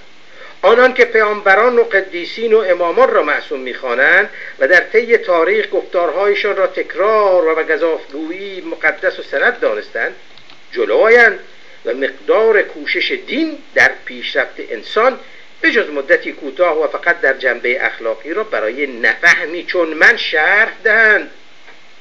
در برابرش همه دیگر اندیشان پزشکان و دانشمندان کوشا در پیشرفت انسان و بهتر نمودن وضع انسان بر این کره زمین توسط همه دینها بدون استثنا مورد شکنجه بودند. قبلا هم پرسیدم لطفا فقط نام یک و نه دو. آری نام یک دانشمند مسلمان و یا عرب را معرفی کنید که در زمان خود زندیق و کافر و ریختن خونش حلال نبوده. با این شرح و حاشیه رفتن امیدوارم این موضوع روشن شده باشد. تا حال هر دو طرف مسئله یعنی دانشوندین از معرفی آفریدگار واماندهاند. از شناساندن پیدایش کهکشان و انسان و ثابت کردن حقیقت و وضعش ناتوانند. دینها عقیده دارند خدا در هفت روز همه چیز را آفرید و روز بعدش روی تخت سلطنت دراز کشید و استراحت کرد. تئوری های دینی غیر قابل بحث هستند. در مقابلش دانش به ادامه بحث و تغییر نظریه ها ادامه می دهد هر دانشمندی به دست آوردها برگی می افزاید ممکن است روزی این نادانستنی ها توسط پژوهش علمی دانسته شود. اما تنها کاری را که دین کرده و می کند بر کردن مردم است صفتی که با گذشت زمان بر مغزها غالب گشته و از جا کندنش غیر ممکن شده. باز می تکرارم تا وقتی که انسان به حقیقت خیش و توان مغزیش و مقدار عقلش و طرز اندیشیدنش پی نبرده باشد این بره بودن و تبعیتش از این و یا آن شخص و عقیده ادامه خواهد یافت.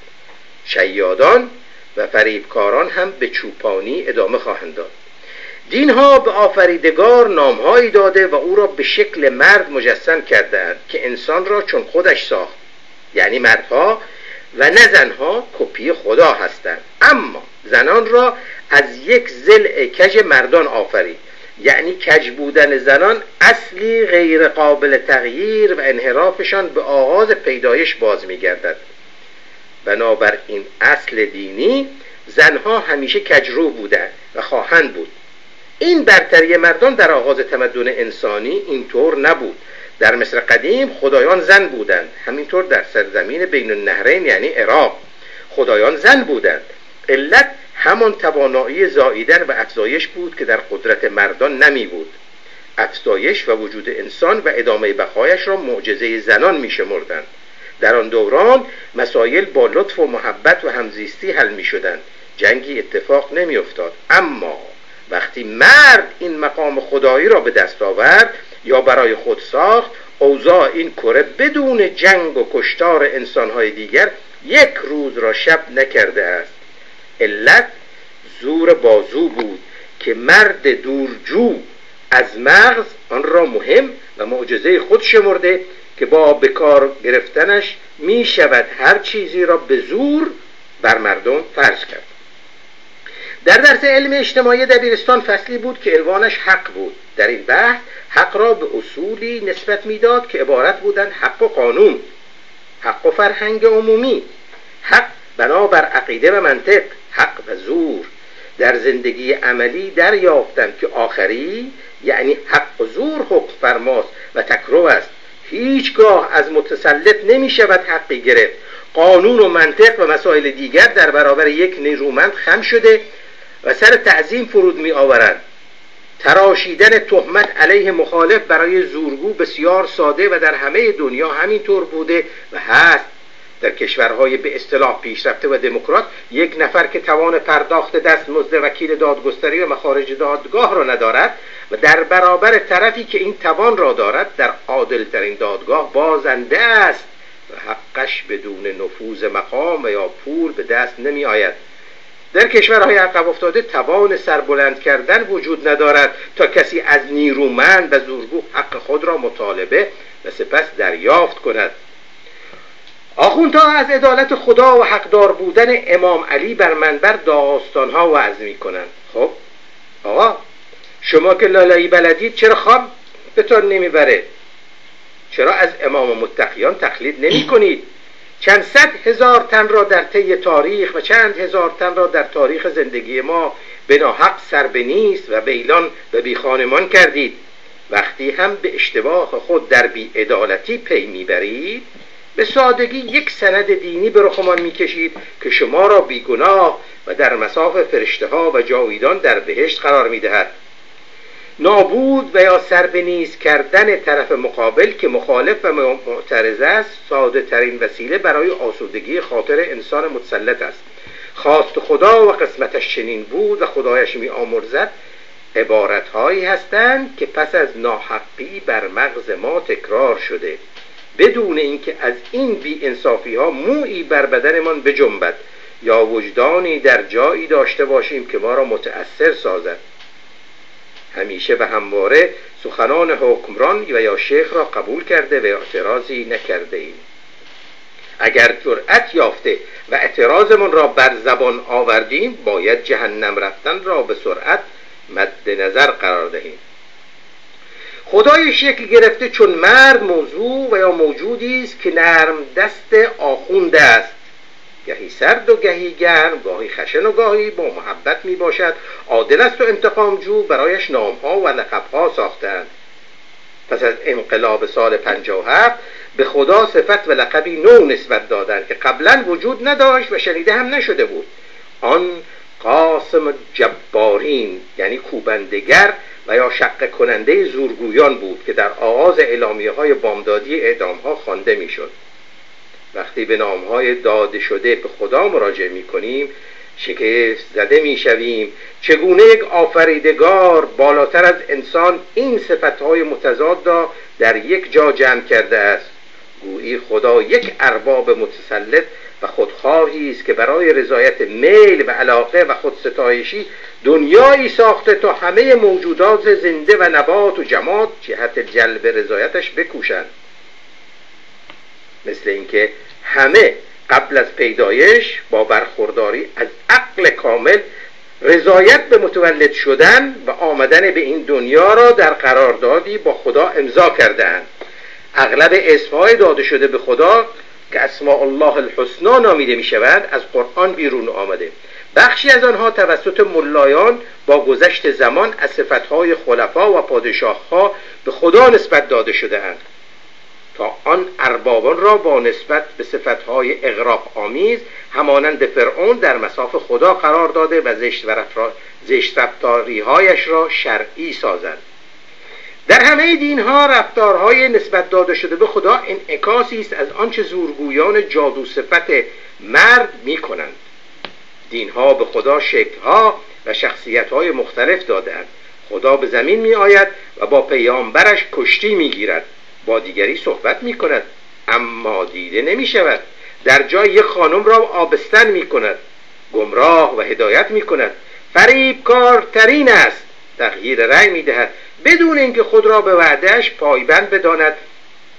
بنا به میل محبت بنا به میل محبت و دشمنی می کند بنابر هوس و مزاج به بنده ها ثروت و مقام و رزق و روزی می دهد هر وقت دلش خواست برای کشتن دیگر بنده ها یک شخص را متسلط می کند هر روز جلسه امتحان برقرار کرده و آفریده هایی را که کاملا از ظاهر و باطن و درون و برون و نیتشان آگاه است به جلسه امتحان می کشد در حال قبول شدن پاداش و در حال رهوزه گشتن مجازات می کند خدای دین ها هم دانا و هم نادان است. انسانهایی خلق می کند که مظلوم آفریده هایش را می کشند ناگهان با یک جریان طبیعی هزاران نفر را بی خانمان و سر به نیست می کند زورگوست نباید با او روبرو شد. هرگز نباید اعتراض کرد و مورد سؤالش قرار داد. در هر حال باید شکرگزار بود. هر گونه اعتراضی به خواست خدا کفر و گناه شمرده می شود همه کارهایی را که یک حکمران متسلط و زورگو انجام می دهد از صفتهای خدا شناخته شده اند می‌خواهی باور کن؟ و اگر نکردی به تهمت جنگیدن با خدا رفتار برخلاف میلش دیگر اندیشیدن و کافر بودن آماده دریافت مجازات باش که توسط نمایندگان معمور تقسیم معمور تقسیم و بخشیدن بهشتش در این دنیا نصیبت خواهد گشت و در آخرت هم تعقیبت می‌کنند. یعنی در هر کجا که باشی مجازات می‌شوی. این است خدایی که همه دینها دور از علم و دانش و صفتهایی بدون دلیل و سند به او نسبت دادهاند. در نتیجه مبالغه و تکرار صفتهای فرعونها و پادشاهها مورد نیایش ساختندشان در کدام دین در چه زمانی در چه دورانی کسی توانسته اعتراض کند و از گزند معیارهای انباشه شده در بیشعوری های متعصبین و چوپانان در امان باشد؟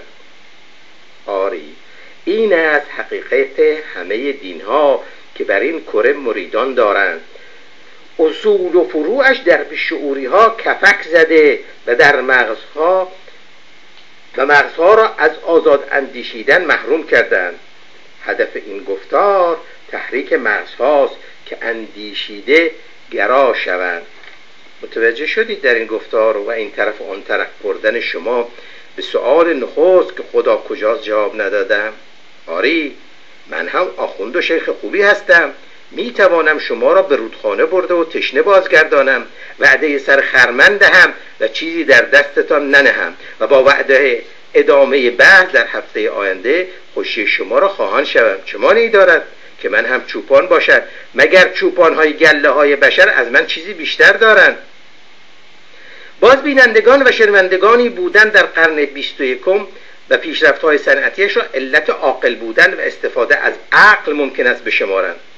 آقای سربی لطفا فیلم را که همین چند روز پیش در عراق گرفته شده نشان دهید. سید مقتدا سعد که دستش به خون مردم آغشته است در عرض سه روز که بر نجف حکمرانی کرد تعدادی از مردم را پس از یک محاکمه چند دقیقه‌ای صحرایی اعدام کرد. با این پشتوانه در قم به ادامه تحصیل فقهی به مدت یک سال ادامه داد و مورد دادرسی مراجع ازام پیرو ادالت خواهی علی.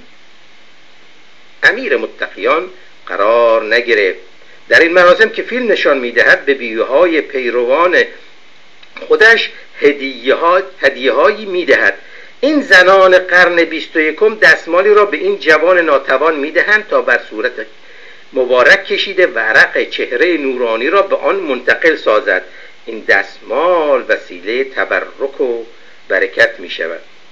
فیلم دوم پیروان بودا را نشان می‌داد که برای زمین فرش ساختن خیش و زیر پای یک موبت بودن در شتابند. آیا ارزه دارید؟ آیا در توانتان هست؟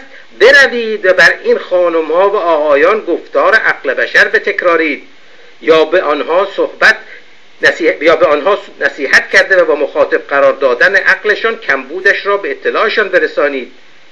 اگر موفق شدید آنگاه چوپانی مرا قبول نکنید. در صورت عدم توانایی در ایجاد تغییر تغییر در ایجاد تغییر قبول کنید که من داناتر هستم از این سید. و آن موبد که برای کسب مال از هم آغوشی با هیچ طرفی عبا نداشتند شاید عرق پیشانی و صورتم بیشتر مبارک باشد و دعاهایم بیشتر مستجاب شوند. از شوخی بگذاریم این گوینده از بره بودن لذت می‌برد. می‌خواهد در گله مانده و بره سرکش باشد. همیشه مزاحم چوپان بوده و صفتهای ناشایستش را بشناساند.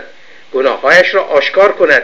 از اینکه در میان بره ها فعالیت و آنان را دگر اندیش می کند لذت می‌برد. آرزومندم شما بینندگان و شنوندگان این گفتارها از تحریک عقل خود تا سرحد امکان لذت برده و در کیف همیشگی عمر را بگذرانید. خب من اتفاقا اینجا نوشته خدا کجاست؟ چی شد که ایشون گفت که تریک یا کلک زده به قول سرکارستوها پالیتیک زده گفته بعد حالا گفتن در برنامه آینده. ضمن شما گفتید که خدا در هفت روز جهان را آفرید و روز بعد رفت استراحت. میگن خدا در شیش روز جهان را آفریده روز اول نور و نمی‌دونم اینها. بعدم به همین خاطر یک شنبه ها تعطیله و میگه اگه کسی کار کرد سنگسارش کنید تا بمیره. دوستان برید بخونید. سزای کار کردن روز یک شنبه. اون وقت روز یک شنبه هر کی تو خیابون می‌بینی از اون راننده تاکسی راننده مترو را... اینا همه باید اعدام بشن کشته بشن. این یکی. ضمنا شما گفتید که امیدوارم دوستان از تحریک مغزشون لذت ببرن. فکر کردم می‌خوایم بهشون بگید که کاری به مغزشون نداشته باشن بذارن استفاده کنن خوش باشن بر اساس شعری که اسلوگن یا تبلیغ روزنامه توفیق بود. بیچاره آنکه گرفتار عقل شد خوشبخت آنکه خرامد اولاغ رفت. بله شیش روز آفرید خدا کجاست؟ این ان. و بریم سراغ گفتم بهتون آگهی ها رو بهتون نشون میدم. با هم میریم به کجا؟ به رود آیلند. بذارید من اینو خاموش کنم این یکی روشن کنم. بله رود آیلند زیبا و این عکس ها رو با هم نگاه می‌کنیم. اگر این اون به اصطلاح سالن اصلیش هست خب حالا بعدش اون پشت اتاقی هست که برای مهمونی هایی که تعداد کمتری هستن اینها. اینجا بهش میگن پرایوت روم یا پارتی روم بعد باید برید ببینید اینجوری نمیشه که. ما عکس نشون میدیم و ما هر چی نشستیم خانم فری شوبری برای ما یه چیزی ارسال کنن داشت درش صحبتی کرده باشن. یا به قول دوستمون نوشته ای بنویسن اینشون هنوز این کارو نکرده و به اصطلاح خب حقم داره. میگه من خیلی گرفتار هستم. من یه جوکی بگم برای دوستانی که فکر می‌کنن دیگران در 24 در شبانه روز سی ساعت دارن و خدا به اونا ظلم کرده فقط 24 ساعت داده. اینجا معروفه. وقتی یکی میگه من وقت ندارم میگن برای که وقت سیف کنی دفعه دیگه که می‌خوای ببری ماشین تو بشوری به اصطلاح شیشه ها رو بکش پایین که خودت هم شسته بشی لباسات هم شسته بشه. اینجوری نه احتیاج هست حمام بری نه احتیاج هست خوششویی بری و اینو به تعنه به اونایی که میگن ما وقت نداریم. ولی آقای خسرو برامی به خانم شبیری گفته بود خب شما باید یه چیزی بنویسی قیمت رو بنویسی. اینا عزیز من ببین شما آگهی های روزنامه روزنامه دیگه خدا بیامرزد اینترنت رو نگاه کن یه نفر همون بالا نوشته بی ام و 20 هزار دلار. قیمت هم همینه. کسایی هم که نمی‌خوان بخرن مزاحم نشن. خیلی هم تند با مردم صحبت کرد. یه نفر همه توضیح رو داده میگه که اگر مایل هستید با من تماس بگیرید قیمت هم ممکنه زده باشه یه دلار ولی همه می‌دونن یه دلار نیست. یا قیمت رو ننوشته باشه. یه آگهی دیگه ای که ما می‌بینیم این روزا طرف میگه اگه شما دارین این آگهی رو می‌خونید می‌دونید که دنبال چی هستیم اصلا هیچی نمینیسه فقط میگه با هم تماس بگیرید. در هر صورت شما می‌تونید دوست عزیز اگر مایل هستید تماس بگیرید اطلاعات بگیرید و من خودم این رو نوشتم برای این دوستان که از طرف اونا صحبت می‌کنم. ما تصمیم گرفتیم که پس از هفت سال بیزینس خود را واگذار کنیم. در صورت تمایل با ما تماس بگیرید. تلفن 203 545 31 66 به انگلیسی میگم 203 میشه 203 545 3166 این هم از این ماجرا و عکسای دیگه هم هست. هنوز بذارید من نشون بدم اینها. آره. حسنش اینه از دو طرف خیابون به یه خیابون به یه خیابون دیگه. این بعد طرف پدیا یا پاسیایی که ما میگیم. و اون طرف هم که شوروم اصلی و اتاق به اصطلاح پذیرای اصلی. این عکس ها نمی‌دونم چیه. چند تا عکس مال یه قایقی اومده اینجا. بله این هم مهمونی هایی که میان گفتمتون اگه کسی هستین خوشتون میاد با مردم با افراد مختلف از کشورهای مختلف جوون پیر مسن سالمند این عکس هم فرمتش خوب نیست اینجا نشون نمیده. بله بذارید من باز کنم یعنی فرمتش خوب نیست. متاسفانه می‌دونید که توی سیستم کامپیوتر اینا از وقتی که شروع کردن به جون هم افتادن هی فرمت ها یا انواع مختلفی آوردن. البته قدیم هم تو ایران همینجور بود. شما روغن موتور روغن ترمز بنز رو نمی‌تونستی برای پیکان استفاده کنی. بله این عکس ها اینجوری بهتر نشون داده میشه. این فکر کنم توی اون اتاقیه که بهتون گفتم. بله همون. اینم اون سالن اصلی که نشون دادم اینم اون شعاری که نوشتم. با ما تماس بگیرید. اینم باز همون طرف. اینا رو نمی‌دونم چیه. من اینا رو بعدا با پاک کنم. در هر صورت. ولی اینا هم خوراکا و نمی‌دونم محیطی که اینا هستن و بله. من سه بار چهار بار اونجا بودم. خیلی خوش میگذره و آدم همین جوونا رو که می‌بینه خودش به اصطلاح روح شاد میشه. بریم آقای خسرو برامی گله کرده از این آگهی. که چرا من این آگهی رو نشون میدم بعد با صدای خودم حرف می‌زنم. ایشون پیشنهاد کرده که آقای بیژن جعفری یه ویدیوی درست کنه. البته آقای بهرامی از خود ما ارزون می‌خره به اون گرون میفروشه. همین پیشنهادی بود که منم کردم با آقای جعفری گفتم تنها اشکال این ویدیو آهنگی که روش هست عوض کنید. ولی بهتون گفتم چی آقای بهرامی؟ همه فکر می‌کنن 24 ساعت براشون در شبان روز کمه. ولی اگر بهشون بگی در شبان روز گذشته چه کاری انجام دادی اینجا بنویس صفحه کاغذ خالی است. بله. خرید فروش معاوضه اتومبیل در خدمت شما تماس از شما خدمت از این دوستان والنتاین موتورز. این شماره تلفن 301 735 75 53 این هم از این. و اما برگردیم به استودیوی جهانی تلویزیون مردم. آهان آگهی آقای انصاری هم نشون بدیم. آقای انصاری دوستان بعضی هم میگن شما دروغگو هستین ولی از هر کدومشون خواستیم بیان دروغای شما رو بگن تا امروز کسی نیومده. اتفاقا گفتم ما یه دوستی داریم توی آلمان هستن. ایشون گفت من از قیافه انصاری بدم میاد شما می‌تونید اجازه دارید از قیافه من بدتون میاد من از همین این آقای چیز یه دفعه نوشته بود من شبیه یکی هم گفتم آقا سه روز به حرف نمی‌زنم. روز من خراب کردی آقای زرامی ولی وقتی آقای بهرامی شما میای میگین این دروغ گفت ببخشید اینو میگم. برای من روزه نخون که حالا اون همشهرین بوده یا اون یکی آقای منوچه بوده یا من اشتباه می‌کنم اون همشهرین بوده. همون طوری که همشهرین گفت طبق گفته همشهرین آقای انصاری دروغگوه. تو دادگاه به این میگن هیرسه یعنی حدیث یعنی نقل قول. شما از دیگران نقل قول نکن. اگر شما آقای انصاری رو می‌شناسید می‌دونی یه جای دروغ گفته مهمون من لازمم نیست پول برنامه بدی. بیا یه جایی نیم ساعت بشین قشنگ اسکایپ این روزا اسکایپ رو با, تل... با این دوربینت هم می‌تونی با تلفنت هم می‌تونی داشته باش. اسکایپ رو داشته باش دو تا کتاب دم office نشستی بذار با هم صحبت می‌کنیم. شما به مردم بگو که دروغ انصاری چیه. و الا اینی که همون جوری که اون دفعه که شما با انصاری مصاحبه داشتید دوستتون شیرازی اصلا من یادم نیست آقا من الان سالهاست با آقای انصاری وقتی مصاحبه می‌کنم تلفن باز نمی‌کنم. نمی‌دونم. و چرا این همه ماجرا؟ من به جای اینکه از در میام تو بگم سلام وقتی در باز می‌کنم میگم همون چیزی هست که بعضیا وقتی میرن به هم دیگه می‌رسن میگن ها طرف میگه خب آقا جون بکن بگو سلام. شما دروغ ایشون رو بیا بگو وظیفته که بیا دروغ ایشون رو بگی.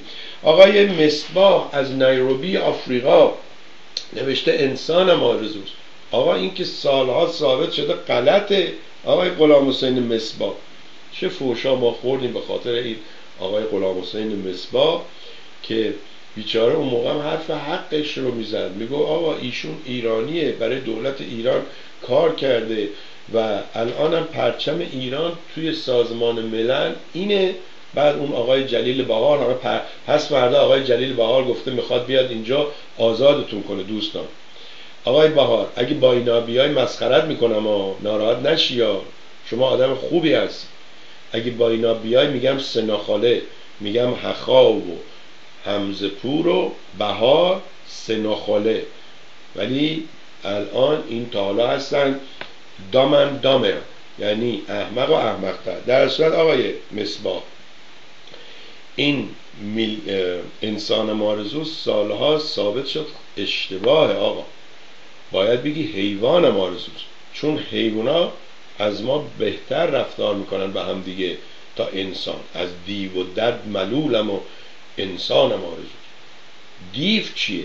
دد چیه؟ اونا رو به من نشون بده. شاید من انسانیت رو ول کنم برم سراغ اونا. کلکمون زدن. چیزی رو که به ما نشون ندادن برای خودشون نگه داشتن. گفتن ملولم نمی بله. این دوستمون درباره فیلم دو سه تا اشکال کوچولو داشتی. شما من گفتید از دقیقه 18 نشون بده چون دو تا فیلم بود و من برنامه ها رو گوش نمیدم دوستان قبل از پخش. من از دقیقه 17 نشون دادم که اگه این فیلمم طولانیه به فیلم دوم برسه ولی شما خودتون توی برنامه اعلام می‌کنید فیلم. و ضمنا من اگر یادم نبود که می‌تونم از این دستگاه استفاده کنم من فیلم همزمان نمی‌تونم با صدا پخش کنم چون دوتاش از Windows Media Player پخش میشه. قبل وقتی که قبلا برای من بفرستین اینو ضبط می‌کنم اینو ضبط می‌کنم می‌ذارم رو هم دوتاش با هم پخش میشه. ولی وقتی دارم یکیشو پخش می‌کنم اگر اینو روشن کنم اینو قطع می‌کنم. چیزی که هست حالا امروز از این program استفاده کردم اون فیلم رو کشیدم آوردم. شما اگر نوارتون فقط audio تا نیم ساعت قبل از برنامه هم بفرسی من audio رو پخش می‌کنم. و اگر, عکسی داره فیلمی داره اونم عکسی که الان شما خودتون همین دوتا فیلم رو من بهتون نشون میدم. ببینید این player چهار از این وری. این player پنج از این وری. اینا هر کسی هر جوری دلش خواسته عکس گرفته فرمت ها فرق می‌کنه. تو برنامه قبلی که شما عکس فرشته ها و خدا نه برنامه قبلی چند برنامه قبلی فرستادید فرمت های عکس رو بهتون گفتم. بعضیاش J, J بعضیاش اون پی او پی چیه ایناست. بعضی ها که میگن به صورت raw هست به صورت به اصطلاح finalize نشده و مخصوصا من که از تکنیک زیاد نمی‌دونم شما کار رو برای من آسون کنید. اصلا ممنون متشکرم. سعی خودم کردم نشون دادم ولی دلخواه من نبود دلچسب من نبود. فیلم اول گفتار تازه یه جایی هم شما نوشتی هر جا دوست داشتی فیلم رو نشون بده. یه جای دیگه گفتی فیلم رو دقیقه 18 نشون بده. خلاصه حسابی ما رو گیج کردی. پس از پیروزی مقتدا صدر در انتخابات باید به او مقامی بالاتر از بشر داده شود. او در این عکس در آغوش امام علی آرامیده. این امام علی که برای مستجاب شدن نیایش ها از همه دنیا به زیارت بیا زیارت آرامگاهش می‌روند کجا بود؟ تا چند در تا در چند متری قبرش مانع جنگ و کشتار مریدان خود بشود. به هر که عقل خودش را کامل می‌داند چه بگویم؟ این عکس را هم دوستان بعد از اون حالا عکس حضرت محمد و حضرت علی که ما میشناختیم حالا این عکس هم شما ببینید که چجوری مقتدا رو در دامن این گذاشتن. گویا عکس حضرت محمد رو هیچ وقت نباید نقاشی می‌کنن هرچی عکس شما می‌دیدید از حضرت علی بوده. این هم از این ماجرا و اما یه دوستی باز راجع به رضاشاه توضیح داده. بذارید من ببینم کجا بود. می‌تونم پیداش کنم با هم بخونیم یا نه. آها میگه که آقای سربی شما بازم زدی به هدف. اگر رضا شاه تا موقعی که رضا شاه نبود مردم فامیل نداشتن که گفتی پس این محمود محمود پهلوی که نویسنده هم بوده بعد اتفاقا دوستمون اینجا نوشته بود که بله این رفت فامیلش رو گرفت بعد گفت حالا چه فامیلی می‌خوای؟ گفت من فامیل نمی‌خوام همون محمود محمود. یعنی چی؟ یعنی آدم اگه آدم باشه همون اسم کوچیکی هم که دارم کافیه.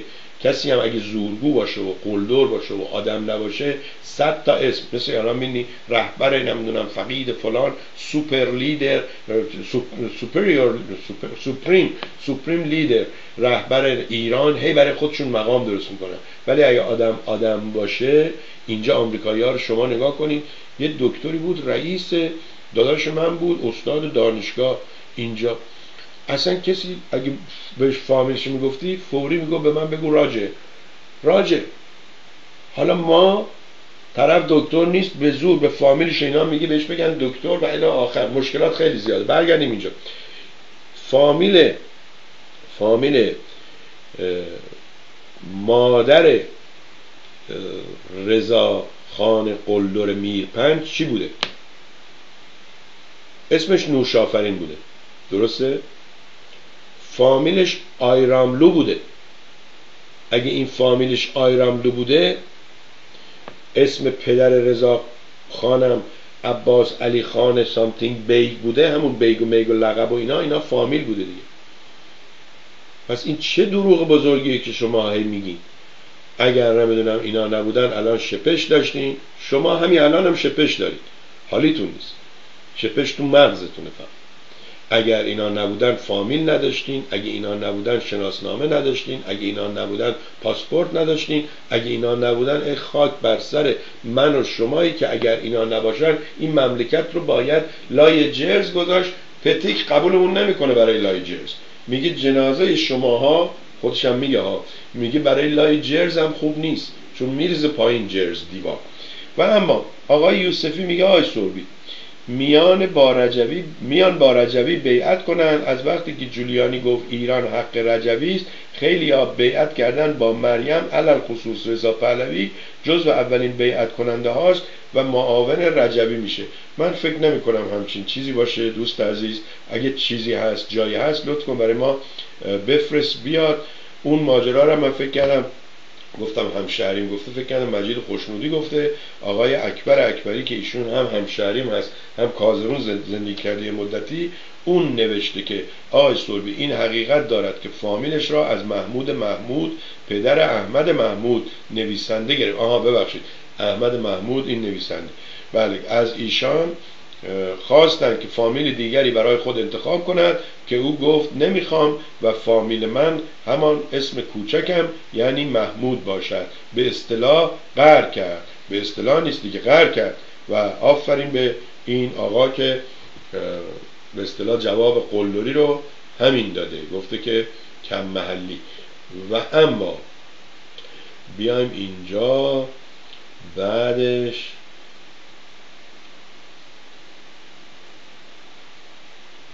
بله بذارید ببینم دیگه چی دارم. آها سوال می‌کنه دوستان اینو پتیک فرستاده. دوستان شما اگه سوالی دارید از آقای انصاری بفرستید. ما تو برنامه سوال می‌کنیم یا براشون میفرستم میان جواب میدم و اما میگه که در گفتگو با انصاری لطفا در مورد دانستن زبان فرانسه شاه و فرح بپرسید. چون در سالهای 56 57 با آنکه جوان بودم و سواد این زبان را نداشتم احساس می کردم که خوب صحبت نمی کنن. حتی فرح دو سال پیش که در کان اون کن به موزه به موزه پول هدیه داد و صحبت می کرد دلچسب نبود. اجازه بده من نظر خودم راجع به زبان براتون بگم. من خیلی دوستا دارم اینجا که فکر می‌کنن زبانشون از آمریکاییان بهتره. ولی بهش بگو آقا این دو دلار بگیر برو یه نون بخر بیاد تا بره اونجا طرف می‌فهمه این خارجی. اینا گول خودشون می‌زنن. بعد زبان خب خانم فرای پهلوی از ایران وقتی رفته فرانسه جوان بوده. بالاخره زبون تو زبونش گذاشتن. هم فرانسوی خونده هم حتما دوست پسری دوست دختری هر چی داشته من نمی‌دونم مرامش چیه. بالاخره زبانش بعد به اندازه ای که بتونه اموراتشو بگذرونه حتما هست. و من می‌پرسم از دوستانی مثل آقای سرهنگ عقیلی پور مثل خانم شایسته الهامی که اینا زبان بلدن مثل خانم بهیه جیلانی دکتر جیلانی که سالهاست فرانسه زندگی می‌کنه از اینا تا نظرشون رو درباره صحبتای شاه به فرانسوی و صحبت های فره به فرانسوی. و مثلا خانم جیلانی بگه اگر نمره زبان را از صفر تا صد فرض کنیم شاه 99 مثلا فره دیگه صده. چون نمیشه از این دوتا نمره کمتر بدی که دیگه نمیشه. و اما ماجرای زبان فرانسه شاه شاه از یازده سالگی میفرستش خارج باباش و اونجا توی سوئیس لابد های مختلف کلاس های مختلف صحبت می‌کردن. و اما آقای رضا پهلوی هم که اصلا دایه فرانسوی داشته. یعنی ایشون با اون دایه فرانسوی بیشتر از مادرش صحبت می‌کرده. اگه امروز بتونه فرانسوی رو از ایرانی هم بهتر صحبت کنه هیچ شقال قمری نکرده. چیز عجیب و غریبی هم انجام نداده. چون شما اینجا بچت رو بذاری پهلو اسپانیشا وقتی برمیگردی بچت اسپانیش صحبت می‌کنه. این فقط برای عقب افتاده های شاه خوبه یا مجاهدین که مثلا فکر کنن آقا رجبی اگه عربی هم صحبت می‌کنه آقا این حتما خدا یا مثلا شاه اگر انگلیسی صحبت کرده فرانسوی هم صحبت کرده این خدا شما برو دم 7 یه اسپانیشی که می‌خواد چی کنی اسپانیشی از اون دور میگه منو ببر من فارسی می‌فهمم. قولت میدم اگه نفر بعدی که میاد مثلا یه چینی باشه همسایه ما چینیه. اون به اونم چینی میگه. میگه منو ببر من زبون تو می‌فهمم. اسپانیشی که دم هوم دیپو وای میسته دم سبنی وای میسته که ببرن سرکار پنج تا شش تا زبون می‌دونه تا امورش بگذره. حالا نگاه کن. اون بیچارم دست کرد اینجا گفت ما دیگه به چشم آبی ها باج نمیدیم. گفتن حالا اگه شما بودی بعدا ببینیم میدی یا نمیدی. مثل این ماجرایی که این آقایی که می‌خواد منو محاکمه کنه اجازه بدین شماره احمقانه رو باز پیدا کنم. یه بار دیگه شماره رو میگم دوستان شما هم زنگ بزنید ایشونو بذارید سر کار. خب تاک بلنگو اینم شماره ای که خط بیرون رو آزاد می‌کنه. شمارش هست دیویست و چهل. دویست و چهل و پنج. پنجاه چهل و پنج.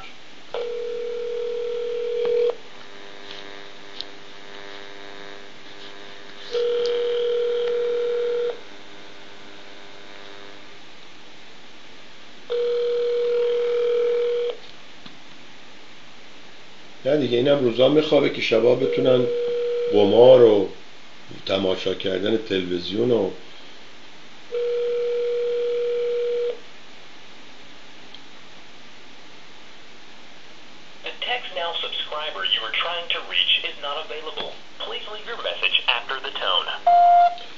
مجددا سربی هستم از تلویزیون مردم. آقا کجایی؟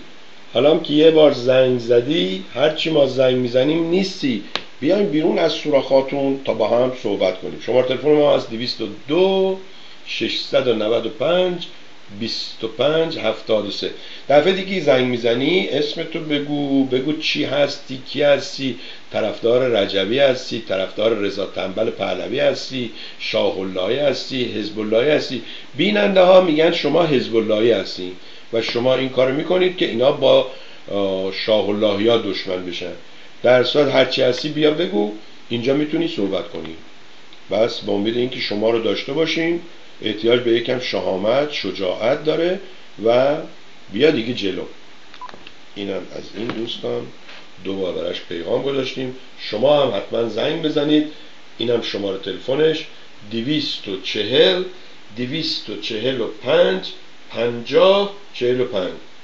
دویست و چهل دویست و چهل و پنج پنجاه چهل و پنج. قرار شد من آگهی آقای انصاری رو بهتون نشون بدم. آقای انصاری این کتاب الان براتون میگم دوستان. یک لحظه صبر کنید. اینجا دنبالش میگشتیم. اونجا. رفتم آقای انصاری. بوک. بله. ویدیویی هم روی یوتیوب هست که درباره کتاب ایشون صحبت می‌کنه دارم دنبال اون میگردم. اینم کمرای سیاه. سه. ببخش ناگفته هایی از تاریخ معاصر مصاحبه ها مقالات و جوابیه های احمد علی مسعود انصاری مکملی بر کتاب های من و خاندان پهلوی و من و رضا. اینم اینجا. به زودی هم آقای انصاری با شما خواهند بود تا اگر صحبتی سوالی هست یا سوالای قبلی که از ایشون پرسیدن به اصطلاح ایشون بیان پاسخ بدهند. بذارید من ببینم این پیامم یکی فرستاده اینجا رفته داخل سپم. بله اب before dial the phone number. Number dial like من نمی‌فهمم. Before dial the phone خب این تلفن های اسپیکر داره من نمی‌دونم چیه. حالا مهم اینه که بالاخره تماس برقرار میشه. نیستن آقا ترسوان بزدلن. اینا اگر دلدار بودن اگر شامت داشتن پای شاه وای میستادن البته خب وقت شاه ترسو بود در رفت. دیگه روزی که شطور بود به یک قاز خریک ساعت یک کنیم به من زنگ می‌زنه یک کنیم شب قیمت واقعی نداره. آقا فرخ بهش زنگ بزن. بهش بگو آقا تو کی می‌خوای بری ایران؟ چه دادگاهی می‌خوای تو ایران درست کنی که از تو دادگاه ایران می‌خوای بیای سوربی رو تو ویرجینیا محاکمه کنی؟ و جرمش چیه؟ باید اول متهمش کنی به یه جرمی. جرمش چیه؟ که حرف حقیقت می‌زنن؟ ای خاک بر سرم. خب قرار شد چی دیگه بهتون نشون بدم؟ برگردیم اینجا تودی و فیلم افضل گفتار ام. من به نفهم بودن اعتراف می‌کنم. پتیکم که گفته بود این سوالو برای آقای انصاری هم فرستادم. در عربستان خیلی ها علاقه باور دارن. اونم براتون خوندم. بیانیه شماره 18 رو خوندیم و با آقای دکتر جلیل بهارم کلکلی کردیم. ولی ایشون مثل که می‌خواد یه دلیلی داشته باشه بیاد واشنگتن دی سی روی فیسبوک جواب نداد پیغامم نذاشت و احتمالا جمعه ایشون رو در واشنگتن دی سی می‌بینیم. دوستان بشه تابید بشه تابید اگر باور دارید که ترامپ بدون شما نمی‌تونه آخونده رو از بین ببره حتما روز جمعه تشریف بیارید اینجا ولی حتما دندون مصنوعیتون گوش مصنوعی عینک مصنوعی عصا اینا رو بیارید. هوا یکم گرمه و شما هم که آقای هوشنگ آریانپور خیلی قشنگ و گفت ماها وقتی جوان بودیم برای مملکت چه کردیم؟ که حالا یک مش پیر و مسن هممونم با این مریضی های مزمن قدیمی. بله. نمی‌دونم والا چی خب اینم از این. بذارید اینم nobody can اینم خانم لیلا فرستاده بود خوندم اون روز. هنری کیسینجر هم گفتم. باید اینا رو آهان 26 م خوب شد یادم افتاد. 26 م بذارید اینو بهتون نشون بدم. آقای تبریزی آقای مهدی تبریزی مهدی زاده یه برنامه رو الان چندین ساله و من نمی‌دونم چرا توی این نوشتن سی و نهمین. چون توی این سالها باید این سی و که امسال سی نه تا گذاشتید حالا هر هفته دم در صورت ایشون نوشته Happy 26 اینجا امروز نه حرفی از خدا هست نه حرفی از بیاین مثلا دنیا رو بهتر کنیم و اینها. و فقط نوشتن سی و نهمین این global Iranian global gala. gala یعنی گرد هم آمدن جمع شدن کمیسیون سمینار اینا رو میگن. و معمولا هم برای چیزهای دولتی من بیشتر دیدم استفاده می‌کنم. مثلا گاورنرها یعنی فرمانداران که همون شاهان شاهان ایالت های متحده هستن. و آقای ترامپ الان شاه شاهانه. یکم هم ولش کنی حماقت چون داره ممکنه خودشو دائم العمر کنه. بله Saturday May 26 میگه که 26 روز شنبه از 6 است تا 11 شب هالیدی این اکسپرس اسپرینگفیلد و admission یا ورودی هم 26 دلار برای شام و دنس رقص. در هر صورت این هفته که داره میاد دوشنبه اولین به اصطلاح روزیه که استخرا باز میشه دریا مردم میرن. بهش میگن Memorial Day Memorial Day روزیه که اینها قدردانی می‌کنن از سربازا و اونایی که حالا وقتی میگیم سرباز تا ژنرال هم سربازه یعنی سرش رو برای مملکتش داده. و این دیگه حالا چون سه روز تعطیل میشه و یکم هم هوا گرم شده مردم آمریکا از این فرصت سو استفاده می‌کنن میرن دریا. دریا هم شلوغ و گرون و اینها. و هوا آب هم هنوز سرده مخصوصا توش غرب تو شرق آمریکا. این از ولی اگر نرفتین شما هم مثل ما بودجه نداشتین که وقتی همه میرن دریا برین می‌تونید بیاین اینجا که آقای مهدی تبریزی با دوستانشون هر هفته نه هر ماه 26 جمع میشن و جشن و به رقص و شام و صحبت و صحبت های دوستانه. و اما خوب شد اینم دیدم نشون بدم ببینم دیگه چی داریم. آقای خسرو بهرانی من پیام دوم شما رو شنیدم که شما به من گفتی که عصبانی نشو. من بهتون گفتم آدمای عصبانی نمیشن که یا غیرت نداشته باشن یا دروغگو باشن. شما فکر می‌کنی من نه غیرت دارم و دروغگو هم خب پس اگه یه چیزی میگید ریاکشن یا عکس عمل من باید نشون داده میشه ما بالاخره پوست استخوان گوش مغز احساس هستیم شما یه چیزی گفتی من نظر خودم گفتم. تو همون برنامه هم گفتم که کسی که خودش این کارو نکرده به دیگران میگه این کار انجام بده. مردم این کار نکنید. بعد گفتم نه اتفاقا میگم ادب از که آموختی؟ از ادبان چون این این کار نکرده و هنوز مغازش فروش نرفته خانم شوبری شما این کار رو انجام بده و امیدواریم یکی بیاد به اصطلاح واگذار کنید. Before dialing the phone number dial star 66 and he cannot see your phone. عزیز من من از اول برنامه تا آخر برنامه شمار تلفنم اینجاست. طرف پیام می‌ذاره. بعد من می‌خوام شماره زنگ که بهش بزنن شماره من نبینه. مگه من ترسو هم مثل اون؟ من که خودم آخر برنامه رو پیام میگم به این شماره زنگ بزن. و این کسی که شماره منو داشته که به من زنگ زده. من خودم از کی قایم کنم؟ من می‌خواستم قایم بشم. شما که منو می‌شناسی 20 سال میمدم بشینم تو این خانه شیشه ای نکن دیگه آقا. فرخ میگه که ماز دوست ماز یاران چشم یاری داشتیم. ما از شما انتظار بیشتری داشتیم. چرا این خبر رو من برای نگفتید؟ اون آخونده رو نشون دادم و بله دیگه یه چیزایی آهان مال جشن چی میگن ازدواج این بچه میگن اگه شیش نفر بمیره این بچه نوه یعنی نوه ملکه انگلستان میشه پادشاه. حالا این خانم آمریکایی شده زن یه نفر که شیش نفر جلوشن. ولی یه عکسی هست. من اینو فرستادم برای دوستان. شما هم نگاه کنید. حالا نمی‌دونم. این روزا میگم هر چیزی روی اینترنت میاد و دیگه شما نمی‌دونی. واقعا درست غلط نیست.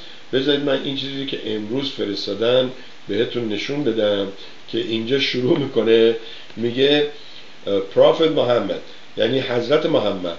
بعد این علامت قرمز برای پسر دختر آبی و گرند, گرند هم یعنی نوه هم این رنگی که کهربایی بعضی ها میگن بعضی ها سبز کناری هم میگن. کنار بعضی هم نمی‌دونن چیه. کنار همون صدره. شما تو تهرون میگین صدر یه درختیه یه برگ قشنگی. اتفاقا تو راه کازرون زیاد بود. بعد اونو برگو به صورت پود در میارن و توی حمام به خودشون به سرشون میشستن. خیلی هم چیزی بهتر از شامپو بود. و اما حالا ببینید که این بعد از محمد این علامت زده. حالا همین اولش گفته نمی‌دونم این دخترشه این اینه ولی این حسن ابن علی گرانسان آب محمد آها این نوش بوده. بعدش نعیم الفلان همه اینا رو کشیده یه مشت اسمی نوشته میاد اینجا میشه ایزابلا پرز آف کاستایل بعد میاد اینجا میشه ریچارد آف کانستانت کانیزبرگ بعد میشه الیزابت آف یورک بعد میشه مری کوین فلان. بعد میاد اینجا میگه که این آخریش خانم الیزابت سکند الیزابت دوم این 1926 بعد اجازه بدیم من الان میام سراغتون. Maybe maybe when he see آهان اینجوری میگه. نه نمی‌خوام آقا. بذار بترسه بذار وحشت کنه. فرخ میگه که شما شمارت رو بلاک کن. زنگ بزن که اون نبینه که تو هستی چون از ترسش شماره رو از ترسش جواب نمیده. ولش که آقا. بذار بترسه تا بمیره. ولی آقای یوسفی میگه کنگره آمریکا یک بند الحاقی به لایحه بودجه دفاع را تصویب کرد که اعلام می‌کند ترامپ و پامپو اجازه ندارند وارد جنگ با ایران شود آقا خیلی به کنگره و ببخشید اینجا بهشون میگن کنگره. یعنی اینا کونشون گره خورده به هم. به اینا باور نداشته باش. اینا همینم هم میگن که من و شما فکر کنیم جنگ نمی‌کنن فردا جنگ کنن. و اصلا بازی سیاست قاتیش نشین بهتره. دوستان سلام در حال کنگره آمریکا در حال بررسی بودجه دفاعی آمریکا برای سال 2019 می باشد پنج نماینده دموکرات عکس های زیر از چپ به راست بالا به پایین کیت السون باربارا الی نمی‌دونم کالیفرنیا خانم خاتا خانا جن اشکسلی و جیم مگاون و یک جمهوری خواه والتر جونز کارلاین شماره یک بند یک بند الحاقی به بودجه پیشنهاد. نه اینا رو اینا رو خیلی دلخوش نباشید که اینها در کانگره به شما میگن نه.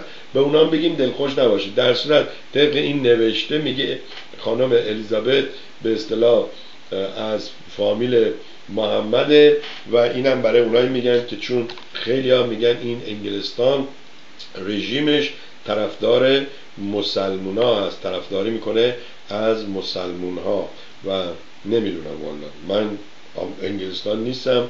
یه دوستی هم داشتیم اون آقای فرید معلم ریاضی بود دکتراش هم گرفت ولی مثل که اونم دیگه چون دکتر شد کارهای بهتری گرفته مشغول لابد مشغول پول در بردنه خب دوستان عزیز ساعت سه و پنجاب و هفت دقیقه است. بذارید ببینم من عکس دیگه ای گذاشتم اینجا که بهتون نشون بدم. فیلم یک و فیلم دو رو اینها رو نشون دادم. این 25 سال این جالبه عکس بختیار رو گذاشتم. بهتون میگم این روزا هر کسی میاد عکس یا اسم یک کسی رو می‌ذاره بعد وقتی خودش یه چیزی می‌نویسه یعنی اون گفته.